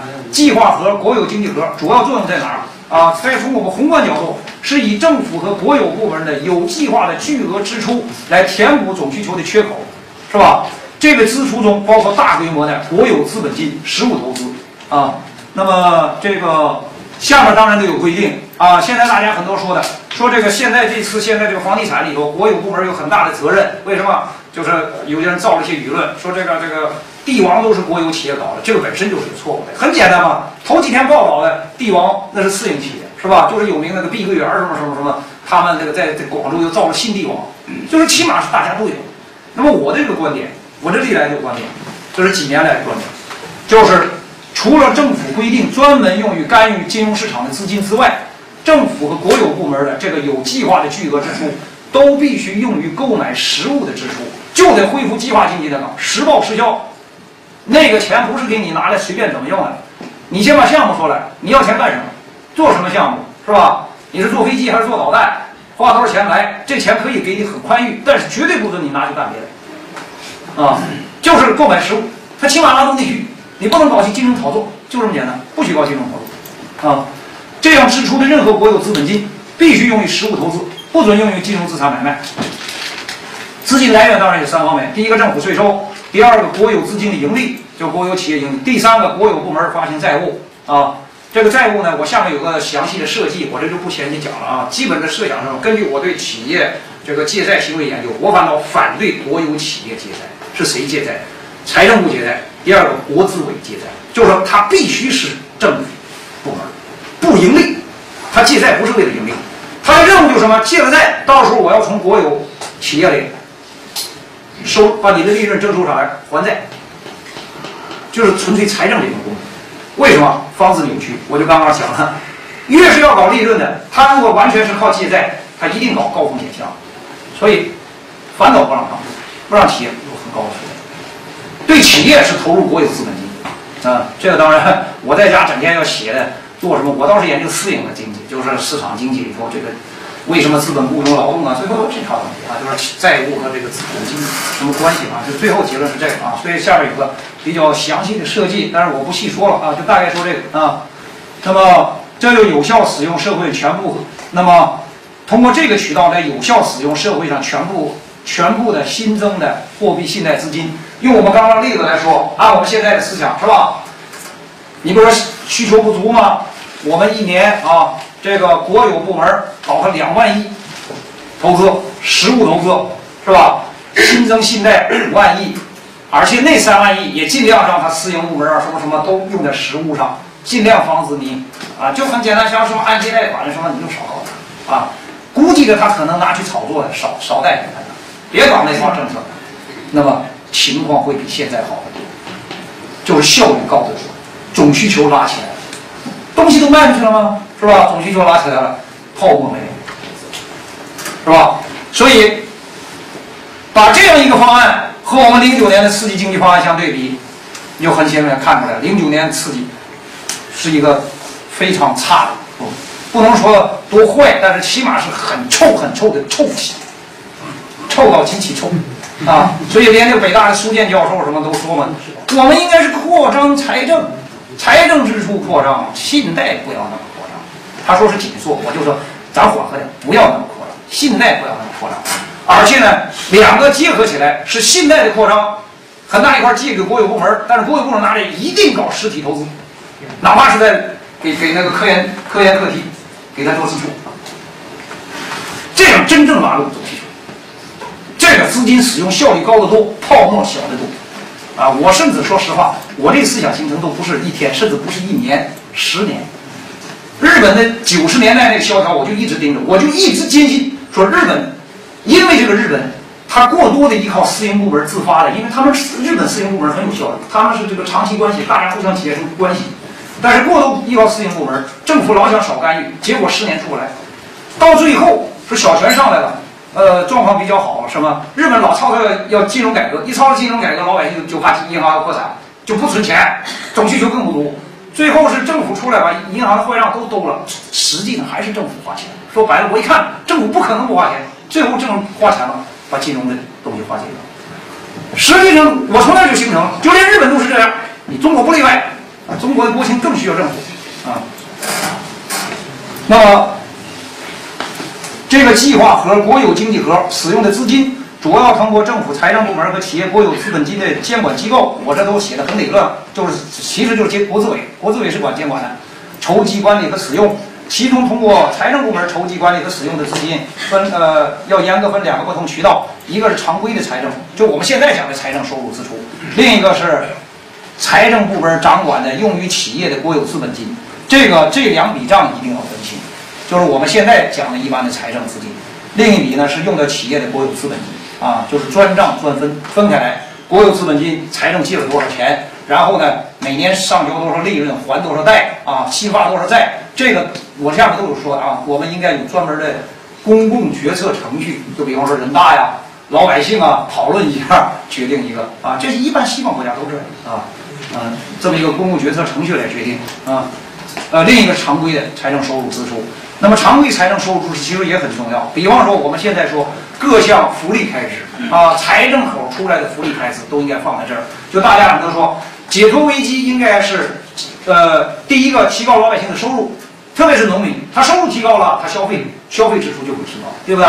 第二个是增加人们享受的各种福利待遇，这个福利待遇提高了。解除老百姓的后顾之忧，这福利待遇大体就我们大家现在讲的三座大山、四座大山，是吧？这个医疗啦、教育啦，这个现在看还得有住房，呃，但是我这里讲了，我说住房这个问题呢，那么就是说啊，呃，增加低收入阶层消费，享受的社会福利啊，目前仍然需要大力增加这方面支出。当然，如果光增加这方面支出，咱们就能把中国总需求拉上去了啊！那当然，我说的别的咱们也就不用讨论了，是吧？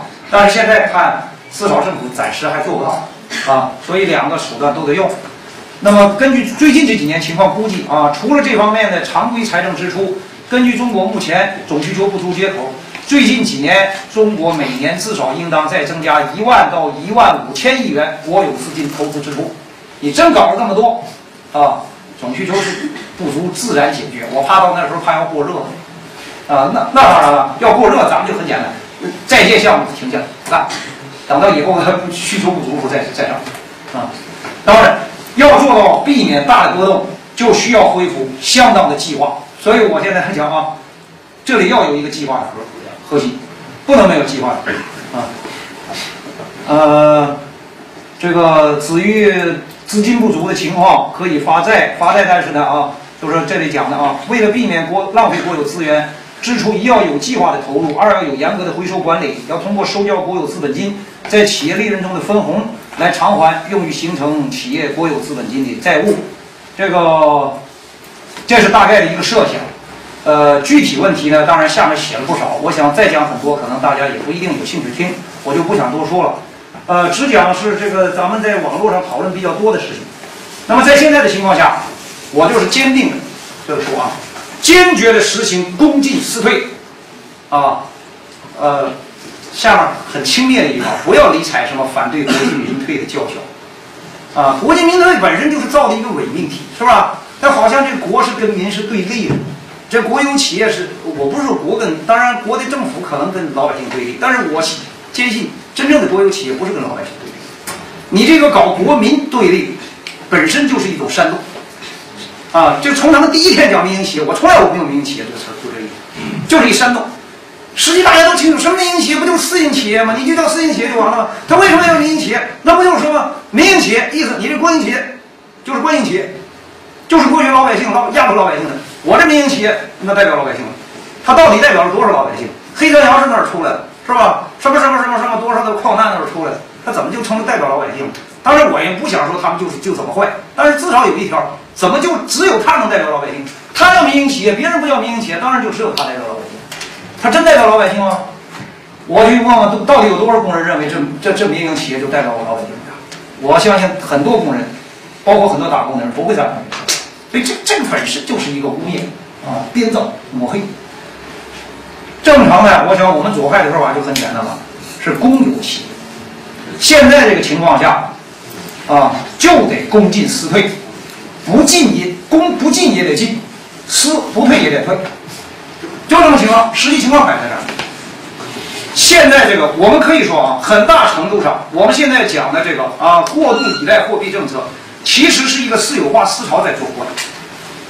为什么？我们讲很简单两点。第一点，这个。你可以在那大喊大叫，拼命的对中小企业，咱们知道，所谓中小企业基本上都是民营企业，是吧？拼命对中小企业扩大贷款，而且这很多贷款我不说嘛，你其实知道情况，人想一想就就是，呃，打听打听消息就知道，肯定很多的大量流到去搞房地产，包括温州人，是吧？很多资金，他很简单啊，他可能拿自己的资金炒房子，但是我的那个企业如果还能运营，那资金是贷的，是吧？拿去干这事儿。啊，这个，你有这个思路，为什么不能有我这思路？啊，政府多搞一些国有资本金投资，这个国有资本金投资差差在哪儿啊？我我刚刚今天中午还看到一条新闻，啊，你随便转两个新新闻都能找到他们的罪证，什么罪证？说现在面临煤荒，就这些，就今年冬天太冷，是吧？面临煤荒，这个国资委这个不发改委正在考虑放宽对呃小煤窑的那个禁令。是吧？因为小煤窑过去过去是它它矿难太多啊，封了很多小煤窑。现在确实产量上不来，你就让小煤窑上啊。我早就讲，你既然国有大矿啊，它这个现在都数据是很清楚的，国有大矿呢，它这个回采率高，就是资源不浪费。然后呢，矿难的百万吨死人率低，就总的统计数据它就是低。为什么过去不大力投资啊？你过去不大力投资，那么到现在啊，供应供不上了，你就得让小煤窑开，对不对？你那头大量投资了，其实正常国家都知道，我还得有一定的生产能力的剩余，啊，一般像美国的国家企业开工率百分之八十啊，就是说我的生产能力是一百，实际用销售只需要八十，你至少得达到这个。中国的电力等等都是应该达到这个，他为什么不搞大力啊？因为大力搞这个，当然得筹措资金了。啊，就像我说的，发行个公债了，然后这煤矿建设公债，其实我倒相信中以中国煤矿现在这样，这煤矿建设公债是没有问题，能还能还，对吧？发行煤矿建设公债，然后投资搞大矿，你平常不搞，结果现在哦一到煤矿了，啊，咱们还得让私营小煤窑回来做呀。包括山西最近的这个所谓国际民配，就煤矿业上，当然了很多小煤矿、小煤窑先封了。但是说实话，你封了小煤窑之前，不管怎么样啊，封小煤窑之前，你先得把那个大煤矿的生产能力搞上去，否则供不上怎么办？就这么简单事儿。那你怎么搞上去啊？没有相应的财政金融措施来配套，是不是？搞不上去的嘛。这个什么呢？其实就是这个。就是这一套格局，二十年前改革初期就奠定了。那时候其实就很清楚的，嘴上在讲公有制为主体，肚子里就是国国退民进，不向国有企业投资嘛，从此就造成了现在的这个乱局啊，进退两难。这一个，第二个房子啊，房子这个有很多人跟我们讲啊，就是包括我们一些同学稍微搞点财经都说，房地产商不盖房子，你也不用害怕。说政府为什么呃就是容忍房价上涨？因为房价不上涨，就怕房地产商不盖房子，是吧？房地产不盖不盖房子，怕什么？政府现在在房地产上已经挣了不少钱了，你卖地挣了那么多钱，你就不能盖点经济适用房、廉租房，是吧？卖给老百姓，租给老百姓。我说对了，咱们还我是说，咱们应该大力提倡什么？盖公租房，公租房什么？平租房，就是说基本上和市场租金相差不大，稍微比市场租金低一点儿。为什么？就是保证真正其实租房的人是真正需要房子，是吧？保证真有租房子又花得起钱的人，他能住上房子。包括我们研究所，那很多年轻的没有房子住的人啊，我一问他，我说你两口干什么？租房子。但是他们就说，我们就总是心里忐忑不安，朝不保夕。为什么？给我签的这租房合同都是很短，几个月一签合同。这个中国租房的人都很怪。我在德国住过租房子，当时我访问学生是吧？花钱租房子，啊，比一般学生牛逼是吧？那个房主都是生怕你租的时间短，人家老抱怨，他们看我这租客三个月就走，五个月就走，八个月就走，他都没有租租好几年的，人家都怕你不租长。哪有说他妈就是给你三个月租，就是三个月租约啊？我这一听就明白，就是什么？他们老想涨房租。对不对？留三个月嘛，是吧？过了三个月，如果有机会了，它就涨啊。当然，它没机会，它就继续再续了，是吧？你要没有这个心理，为什么呢？所以呢，搞得两头都不稳当。你政府先把房租给稳定下来，怎么稳定呢？很简单，你大量的，还回到老老左派那句话，公有制为主。你这个东西，私营企业他不会给你照这个干，是吧？你政府就当然要提供平租房，平租房，我相信在北京这平租房它应该是不赔钱，不赔钱。是吧？咱们讲真正的成本，真正成本是什么？征地的成本，盖房子的成本，对不对？回收是租金，只不过是长期的成本慢慢回收嘛。因为我们放弃了公有制为主体这一套，住房都让它私有化啊！对对对对，你们都得去买房子啊！你不买房子怎么的？我可以贷款给你，贷款给你你也得还呐！而且这个房价越来越高，他妈成纯粹成一剥削了。我现在就说这就是剥削，双重剥削，高房价，房地产上剥削有一次，第二个。你贷款的那个贷款利率肯定比你存款的利率高，对不对吧？银行又剥削一次，他们两家都积极着呢，生怕我不贷款买房子，对不对？为了什么？为了剥削，这真叫剥削。现在不是剥削工人阶级，是剥削消费者，就是旧社会的高利贷，资本主义社会之前的高利贷，干这一套，发展高利贷，为什么？就是这套私有化，当然也包括鼓励老百姓私有化，因为中国老百姓都想，哎呀，我得有一套自己房子。好了。你越想有一这一套自己房子，你就上房地产商的道儿。房地产商，你别看我价高了百分之十，那不你将来有了自己的房子吗？明天它再涨百分之十，最后就涨幅百一倍了，对不对嘛？现在一看这房租房价比，我都是我这都算过数据的啊，就是说，绝对是买房子不如租房子。所以现在呢，就这么说，因为啊，我这是回到总的问题啊，因为你否定了公有制为主体。房地产上完全否定了公有制，否定公有制什么？公有住房否定了，连经营住房的公有企业都否定了。因为其实现在的房地产企业，据我知道，绝大多数都应该说是私营企业。啊，典型是这谁？就今呃今年年初大概说说王健林家族，我是大连的，大连万达的王健林家族进入中国首富行列。大连你早说过，他是怎么来的？确实原来是国营，九十年代初啊，但是很快他就改制，什么什么的这。改我专门研究改制嘛，知道那一套，倒腾倒腾，现在人家首富，那肯定不是个东西，不是他就是倒，他是搞房地产的，他是典型大房地产商，他不是说倒卖房子，是就是做房地产，盖房子完了卖房。子，啊，万达的项目很多，就是我们呢两重否定，公有住房否定了，这个房地产企业盖房子卖房子的企业这个公有性质否定了，最后就什么？变成了一个纯粹的剥削，现在是剥削消费者，剥削蜗居的那些房东。啊，双重剥削，房地产商搞一高房价，银行搞高利息，他们都拿高利润，你这头呢高交费，高交费，每月高月供，啊，一定当房主，搞这么一套东西，啊，现在就简单说，我算了几个账，就是在北京绝对，呃，咱们就讲同样的钱啊，同样钱我租房子，我住同样的房子，我不租不买房租房子，你可以省下一大笔钱，就这么简单，最终。我一定能给你算清楚这账，省下一大笔钱啊！就现按现在的房价房租，那个计算那个是有道理的。但是为什么还有很多人买房子呢？当然，第一个有一批人认为，买房子房价一定上涨，投机心理，对不对？这就纯粹是一帮子投机商了啊！我当然我可能可能在座也有，这就等于骂你们了啊，是吧？没办法，但是不管怎么样，你不能否认，你你就是一投机商，是吧？搞投机倒把的啊。呃，当然咱们不是毛泽东时代啊，没没有没有罪，那时候毛投机倒把都有罪，是吧？现在没罪，你就投机吧。但是我对你没有好印象，是吧？就是一投机商啊。还有一批人是什么？就是咱们中国人的传统观念了，是吧？总得有一套自己的房子啊，所以宁肯代价高点儿，我也我也要弄一套自己房子。好，这你就上了房地产商的套，那就通过他们这套运作啊，我这里都讲清楚了，这套运作啊，你就是买一个高房价的东西啊，当房奴啊，给人家还还贷啊，受人剥削啊，真是剥削啊！那他讲吧，那。一万块的房子，你买，你拿两万块买下来了，你受没受剥削？我就问你这个事儿。一万块钱的房子，你拿两万块两万块买了，而且将来泡沫破灭的时候，它可能真就回到一万块。你拿两万块买了，你受没受剥削吧？我就这么问你。但是呢，人家利用你这个私有观念，啊，来，来让你心甘情愿受这个，是吧？这就是什么呢？这就是他们在天天鼓吹的私有化的结果，把老百姓。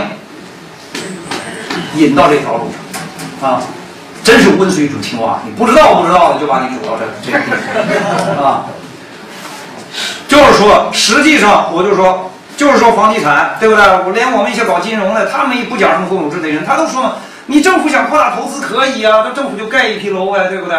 我说，而且还会有很低的租金，咱就比市场租金低百分之五，那肯定人都先租你的房子，对不对？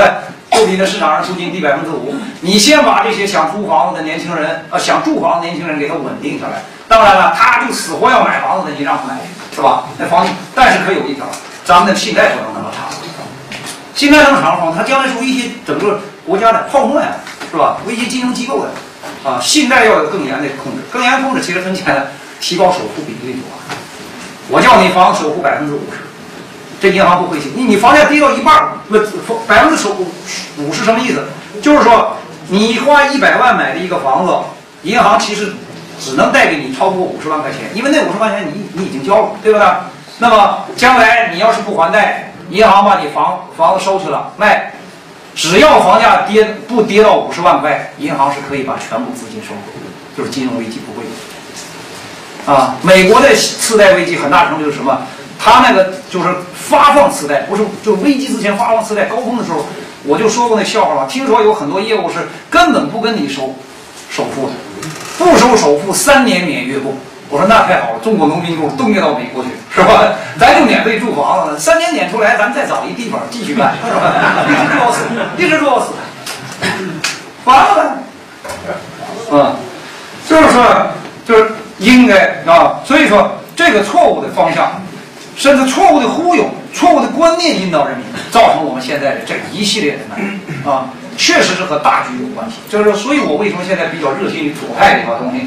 我自己自己觉得自己不够真正左派，但是因为左派的这个基本理念，很多问题我简单讲都是左派基本理念，共识为主就是不错的。住房问题上也是，你偏离了共识为主体，结果搞成现在这个，让大家都去买自己的房，是吧？搞成这个，就是搞成现在。啊，说你们没有钱，行，我借给你，借给你，你别忘了那高利贷啊，两通过去，最后搞啊。所以呢，我就说啊，那么这个计划和国有经济核支出的方向啊，现在就只讲讲呃我的设想，我设想这几个东西啊。首先，设法增加低收入阶层的消费和享受的社会福利，解决医疗、教育、住房等民生问题。政府对城市住房的干预，应重在以略低于市场价格的房租。供应公共住宅，稳定城市房租，就先把真真想住房的人先给他稳定住啊。那些投机的人，他愿怎么样怎么样，是吧？咱不不保证供应啊。呃，当然了，经济适用房，因为经我为什么不是很很主张经济适用房？因为经济适用房在现在这个投机的状况下，呃，怕它倒卖，是吧？倒卖你你增加了倒卖的房源而论，是吧？它如果倒卖真停止了的话，经济适用房挺好。但现在这么个倒卖的局面下。还不如你先先把这个真要住房子，真要住房子的房租啊，把房租先给我定啊。你哪怕多提供点廉租房是吧？呃这个就是呃平租房，平租房是一般人所有人都可以享受，对吧？你多提供点这些东西啊。这个啊，该讲到哪儿了？这个这个哎呀，想到的太多啊，乱聊了。啊，就是说，同时以坚决的财政金融手段制止投机买房造成的房价上涨，这就我们说的，你这个再用这么扩张信贷来鼓励倒倒腾房子，是绝对不应该再允许。这方面支出应当主要来源于财政部门常规的财政支出，其他方面计划和国有经济和支出应当服务于下列几大原则。那么现在很多人说了，你往哪儿投资啊？现在没有投资的地方，我就说，我问你这几条啊。第一个，产业方面有没有目标？有。我说很简单，提出一个高指标，像大跃进似的啊，提出一个高指标，就知道你有没有努力方向啊。当然，我不是要搞大跃进啊，我就这么说，这么个原则。尽快使中国的科学技术、军工产业、装备制造、环保行业、新能源产业全面走在世界前列。现在做没做到？我相信肯定大家没有谁敢说我们做到了，做不到，要做到。中国将来要做世界第一大国，不要说第一大国，第一流大国，你必须做到。我说的对不对？如果说对，要不要投资？要投多少资？现在是咱们自己大家算一算。军工要投多少资？我们也估算，我曾经有一个估算，我说光军工投资够你投二十年，咱得赶上美国。美国有什么，我得有什么啊？因为什么？美国人讲，我就最近看了美国军美国军事，他就说说中国陆军，他现在还在说中国陆军武器装备不行。你猜是世界六七十年代的水平？好了，行，我是世界六七十年代水平，我现在要达到二十一世纪的水平，要多少钱？是吧？要多少钱？一年要一万亿还是要两万亿？中国有资金，两万亿有没问题，我就告诉你这么简单，两万亿有，起码还省得上俄罗斯采购的钱吧。而且很多军用品是你根本采购不来的。你想甲午战争的时候那些大舰，要说咱们中国人自己能造，会吃那么大亏吗？是吧？就天天有功夫去盖颐和园挨打，这是挨打的命，你就是，就就你跟你这帮人，你就是挨打的命。他就天天有钱盖颐和园，他没钱造军舰，是不是？我就光讲这一个军工科学技术走在世界前列要多少钱，是吧？装备制造、环保行业，还有新能源产业。新能源产业，我和很多人观点不同。有人说中国光伏产业发展太多了，过剩了。我说，过剩是相比现在全世界的用量多了，但是你要在中国普及太阳能，光伏就是太阳能啊，太阳能啊是差远了，是吧？这个是一个，第二个。每一个产业、每一种产品的生生产中，都争取中国的企业生产高端化，掌握最先进的核心技术，做到没有？我敢说，大部分人都告诉，基本上没做到。哪一个产业可能？几乎没有哪个产业做到。做到，要做到，差多少钱？现在问你，应该做到。世界第一流的国家，至少都是在某几个产业上，就荷兰那种小国都是某，飞利浦就是，是吧？某几个产业上，它一定是高端的，最前列的。我们中国这样大国，因为中国是什么呢？人口、土地面积是整个欧盟或者整个美国大小，你起码得做到他们那种强势。有多少多少个产业世界第一，要做到世界最前列，要花多少钱？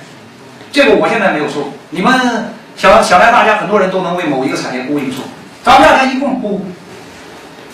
这个目标一提出来，谁要说没地方投资，那瞎扯。就是你们这个没地方投资的思想，造成什么？造成不投资，最后造成什么？咱们说中国没有核心产业，中国没有核心技术。你不投资，它能有核心技术吗？美国核心技术怎么来的？天上掉下来的？你去看看，它怎么投资投出来的？是不是？中国这个没有别的办法，只有政府投。现在既然你资金这么多余，这么想拼命投入资金啊，九万亿说说扔就扔进去了，为什么不能拿九万亿来搞搞这个玩意儿？就是我说这两条，我相信这两条九万亿不够用。再来两个九万亿也不够，肯定不，是不是？那就行了吗？搞吗？对不对？我就那个呃，危机还机遇，我就说，真要这么干，我们就不是担心需求不足的问题，我是怕到时候过分了，像大跃进似的过热，啊，这个，所以我们要有个计划，钱要花悠着花，别乱乱花，是不是？咱不能搞那一哄而上，我并不主张一哄而上，但就是说高目标一百，你就知道了，你。投资需要花钱的地方多了，我不最简单举一个例子，那个化工的博士在中国是说大学里，我我该因为化工就是做实验的，我实验都做不了，你那个破仪器设备我怎么做呀？那么你让他在中国大学能做实验，你得给大学弄多少设备？而且我们不能光靠买，是吧？我们得发展自己的仪仪器，什么制造，对不对吧？那不就说要投资吗？投呗，你不就是要扩张吗？嗯，那么说中国有潜在的资金，我们怎么把它运用起来？我不就刚刚讲了，国资委啊，什么发债啊，财政渠道多了，是吧？嗯，你就一句话，你跳出新自由主义那套市场迷信、私有化迷信，道路有的是，光明大道有的是，你要掉在那里头，我没告诉你，你永远两难，左也不是，右也不是，啊。那么，在保证上述资金支出的前提下，如果还有资金剩余，支出原则是什么呢？哪个行业哪种产品生产出了缺口，特别是缺乏实物的投入，政府就应当以资金大力投入，同时实行全面的进口替代。进口替代，我们进口大量的东西，除了个别的东西，能源这个没有办法，石油中国就没有，你就进口。除了这个之外，所有的产品应该替代，因为咱们除了那以外，进口的大量都是高技术的东西。就是中国应该发展的，所以应该坚决的实行进口替代，啊，打掉生产来出口导向。现在是幻想，西方人也不让你出口导向，是吧？天天给你搞贸易保护主义嘛，啊。那么这方面我说的那些其他产业类的要很简单啊，这个是我是很高兴无有之乡，就是无有之乡偏好登这些东西，所以呢一看，比方说无有之乡有这个大豆产业，中国大豆产业怎么怎么地了，中国的种子怎么怎么地了，是吧？都快叫外资控制了，为什么叫外资控制了？你也不能怪农民，农民还还有些农民就是要买外国种子，他说外国种子好，那很简单，中国的种业怎么了？种业当然你没培养出好种子，为什么没培养好种子？袁隆平他怎么就培养出双双豆？你不投入，对不对？咱们问题就是就只有一个袁隆平，没有别人，是吧？你别的小麦种子什么什么种子，你怎么没培养出好东西？你不投入，他能培养出好东西吗？那得花钱吧？大豆怎么搞的？大豆的这个从种植到保护。到最后，这个榨油啊，什么什么那个公司是吧？你你这个政府都没有扶持，一扶持的人就说这个要花钱啊！你现在不就是有钱没处花吗？为什么不花呀？我就说这个这个基本的问题啊！现在问题不是有钱没处花吗？那为什么不花呀？所以我随便举一个例子啊，我说物有资源好，什么物有资源老登这东西，你随便翻翻翻，我这是随便找，呃，就看了哪个产业，大豆产业，是吧？不是说只有大豆产业重要啊，就类似的，咱们只要一细心，发现无数，是不是？啊，啊保证主要农副产品全面自给，补贴中国种植大豆的农民。大加入 WTO 时候，咱们吃了一个大亏，就是咱们说是这个这个大豆进口限额吧，开的口子太大，结果最后就看中国大豆几乎被打倒。现在很多人呢，呃，特别政府决策层有关系的一些人，还在替这个辩护，这个我们也能理解，是吧？人家也不能说领导过去领导的坏话，那是十年前的事儿，就加入 WTO 谈判了，是吧？比如说。请不迫不得已，不得已这样的。但是不管怎么样，既然现在我们需要花钱补贴农民，我就代表中国东北农民，特别黑龙江的，我是辽宁的，我代表黑龙江的，要求政府给予中国豆农补贴，保护中国大豆产业，是吧？你这个钱不花吗？要提高民生吗？你哪怕白给他钱，白给钱他买东西，对不对？你现在不就是刺激农民消费吗？你给了钱，他不就消费了吗？对不对吗？就这么简单事儿吗？反正也是财政拿钱嘛。最大就是白白给了，白给了他让他买东西，只要他买东西，咱就扩大内需，就这么简单道理吗？我现在不跟你讨论宏观问题吗？重需求不足吗？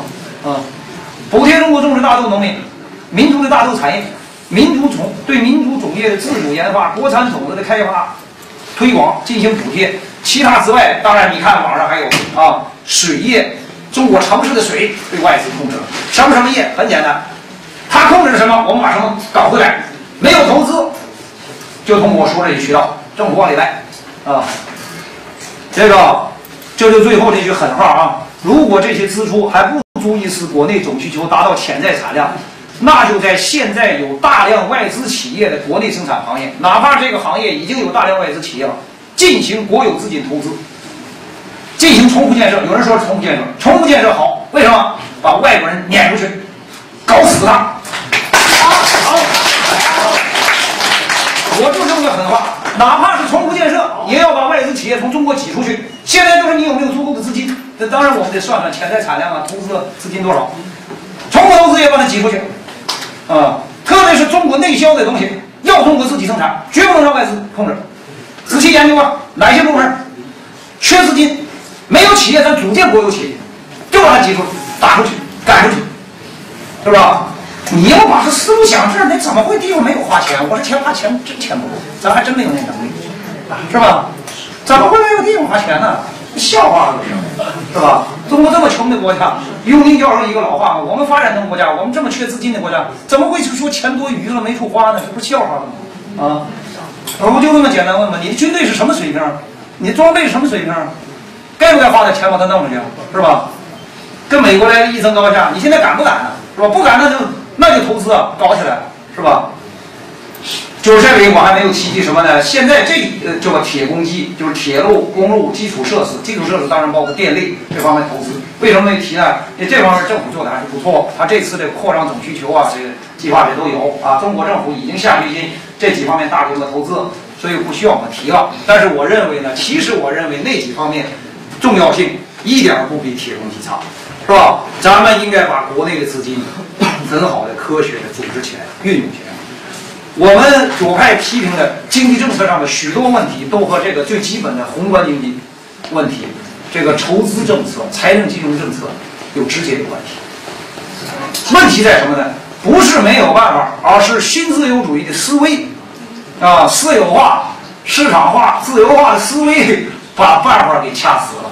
其实懂行人都知道，就美国政府它也不是那么完全私有化、是完全市场化，它操控的东西多了，是吧？结果搞到我们现在处在这个两难难局。哎，我我现在就讲到这儿啊。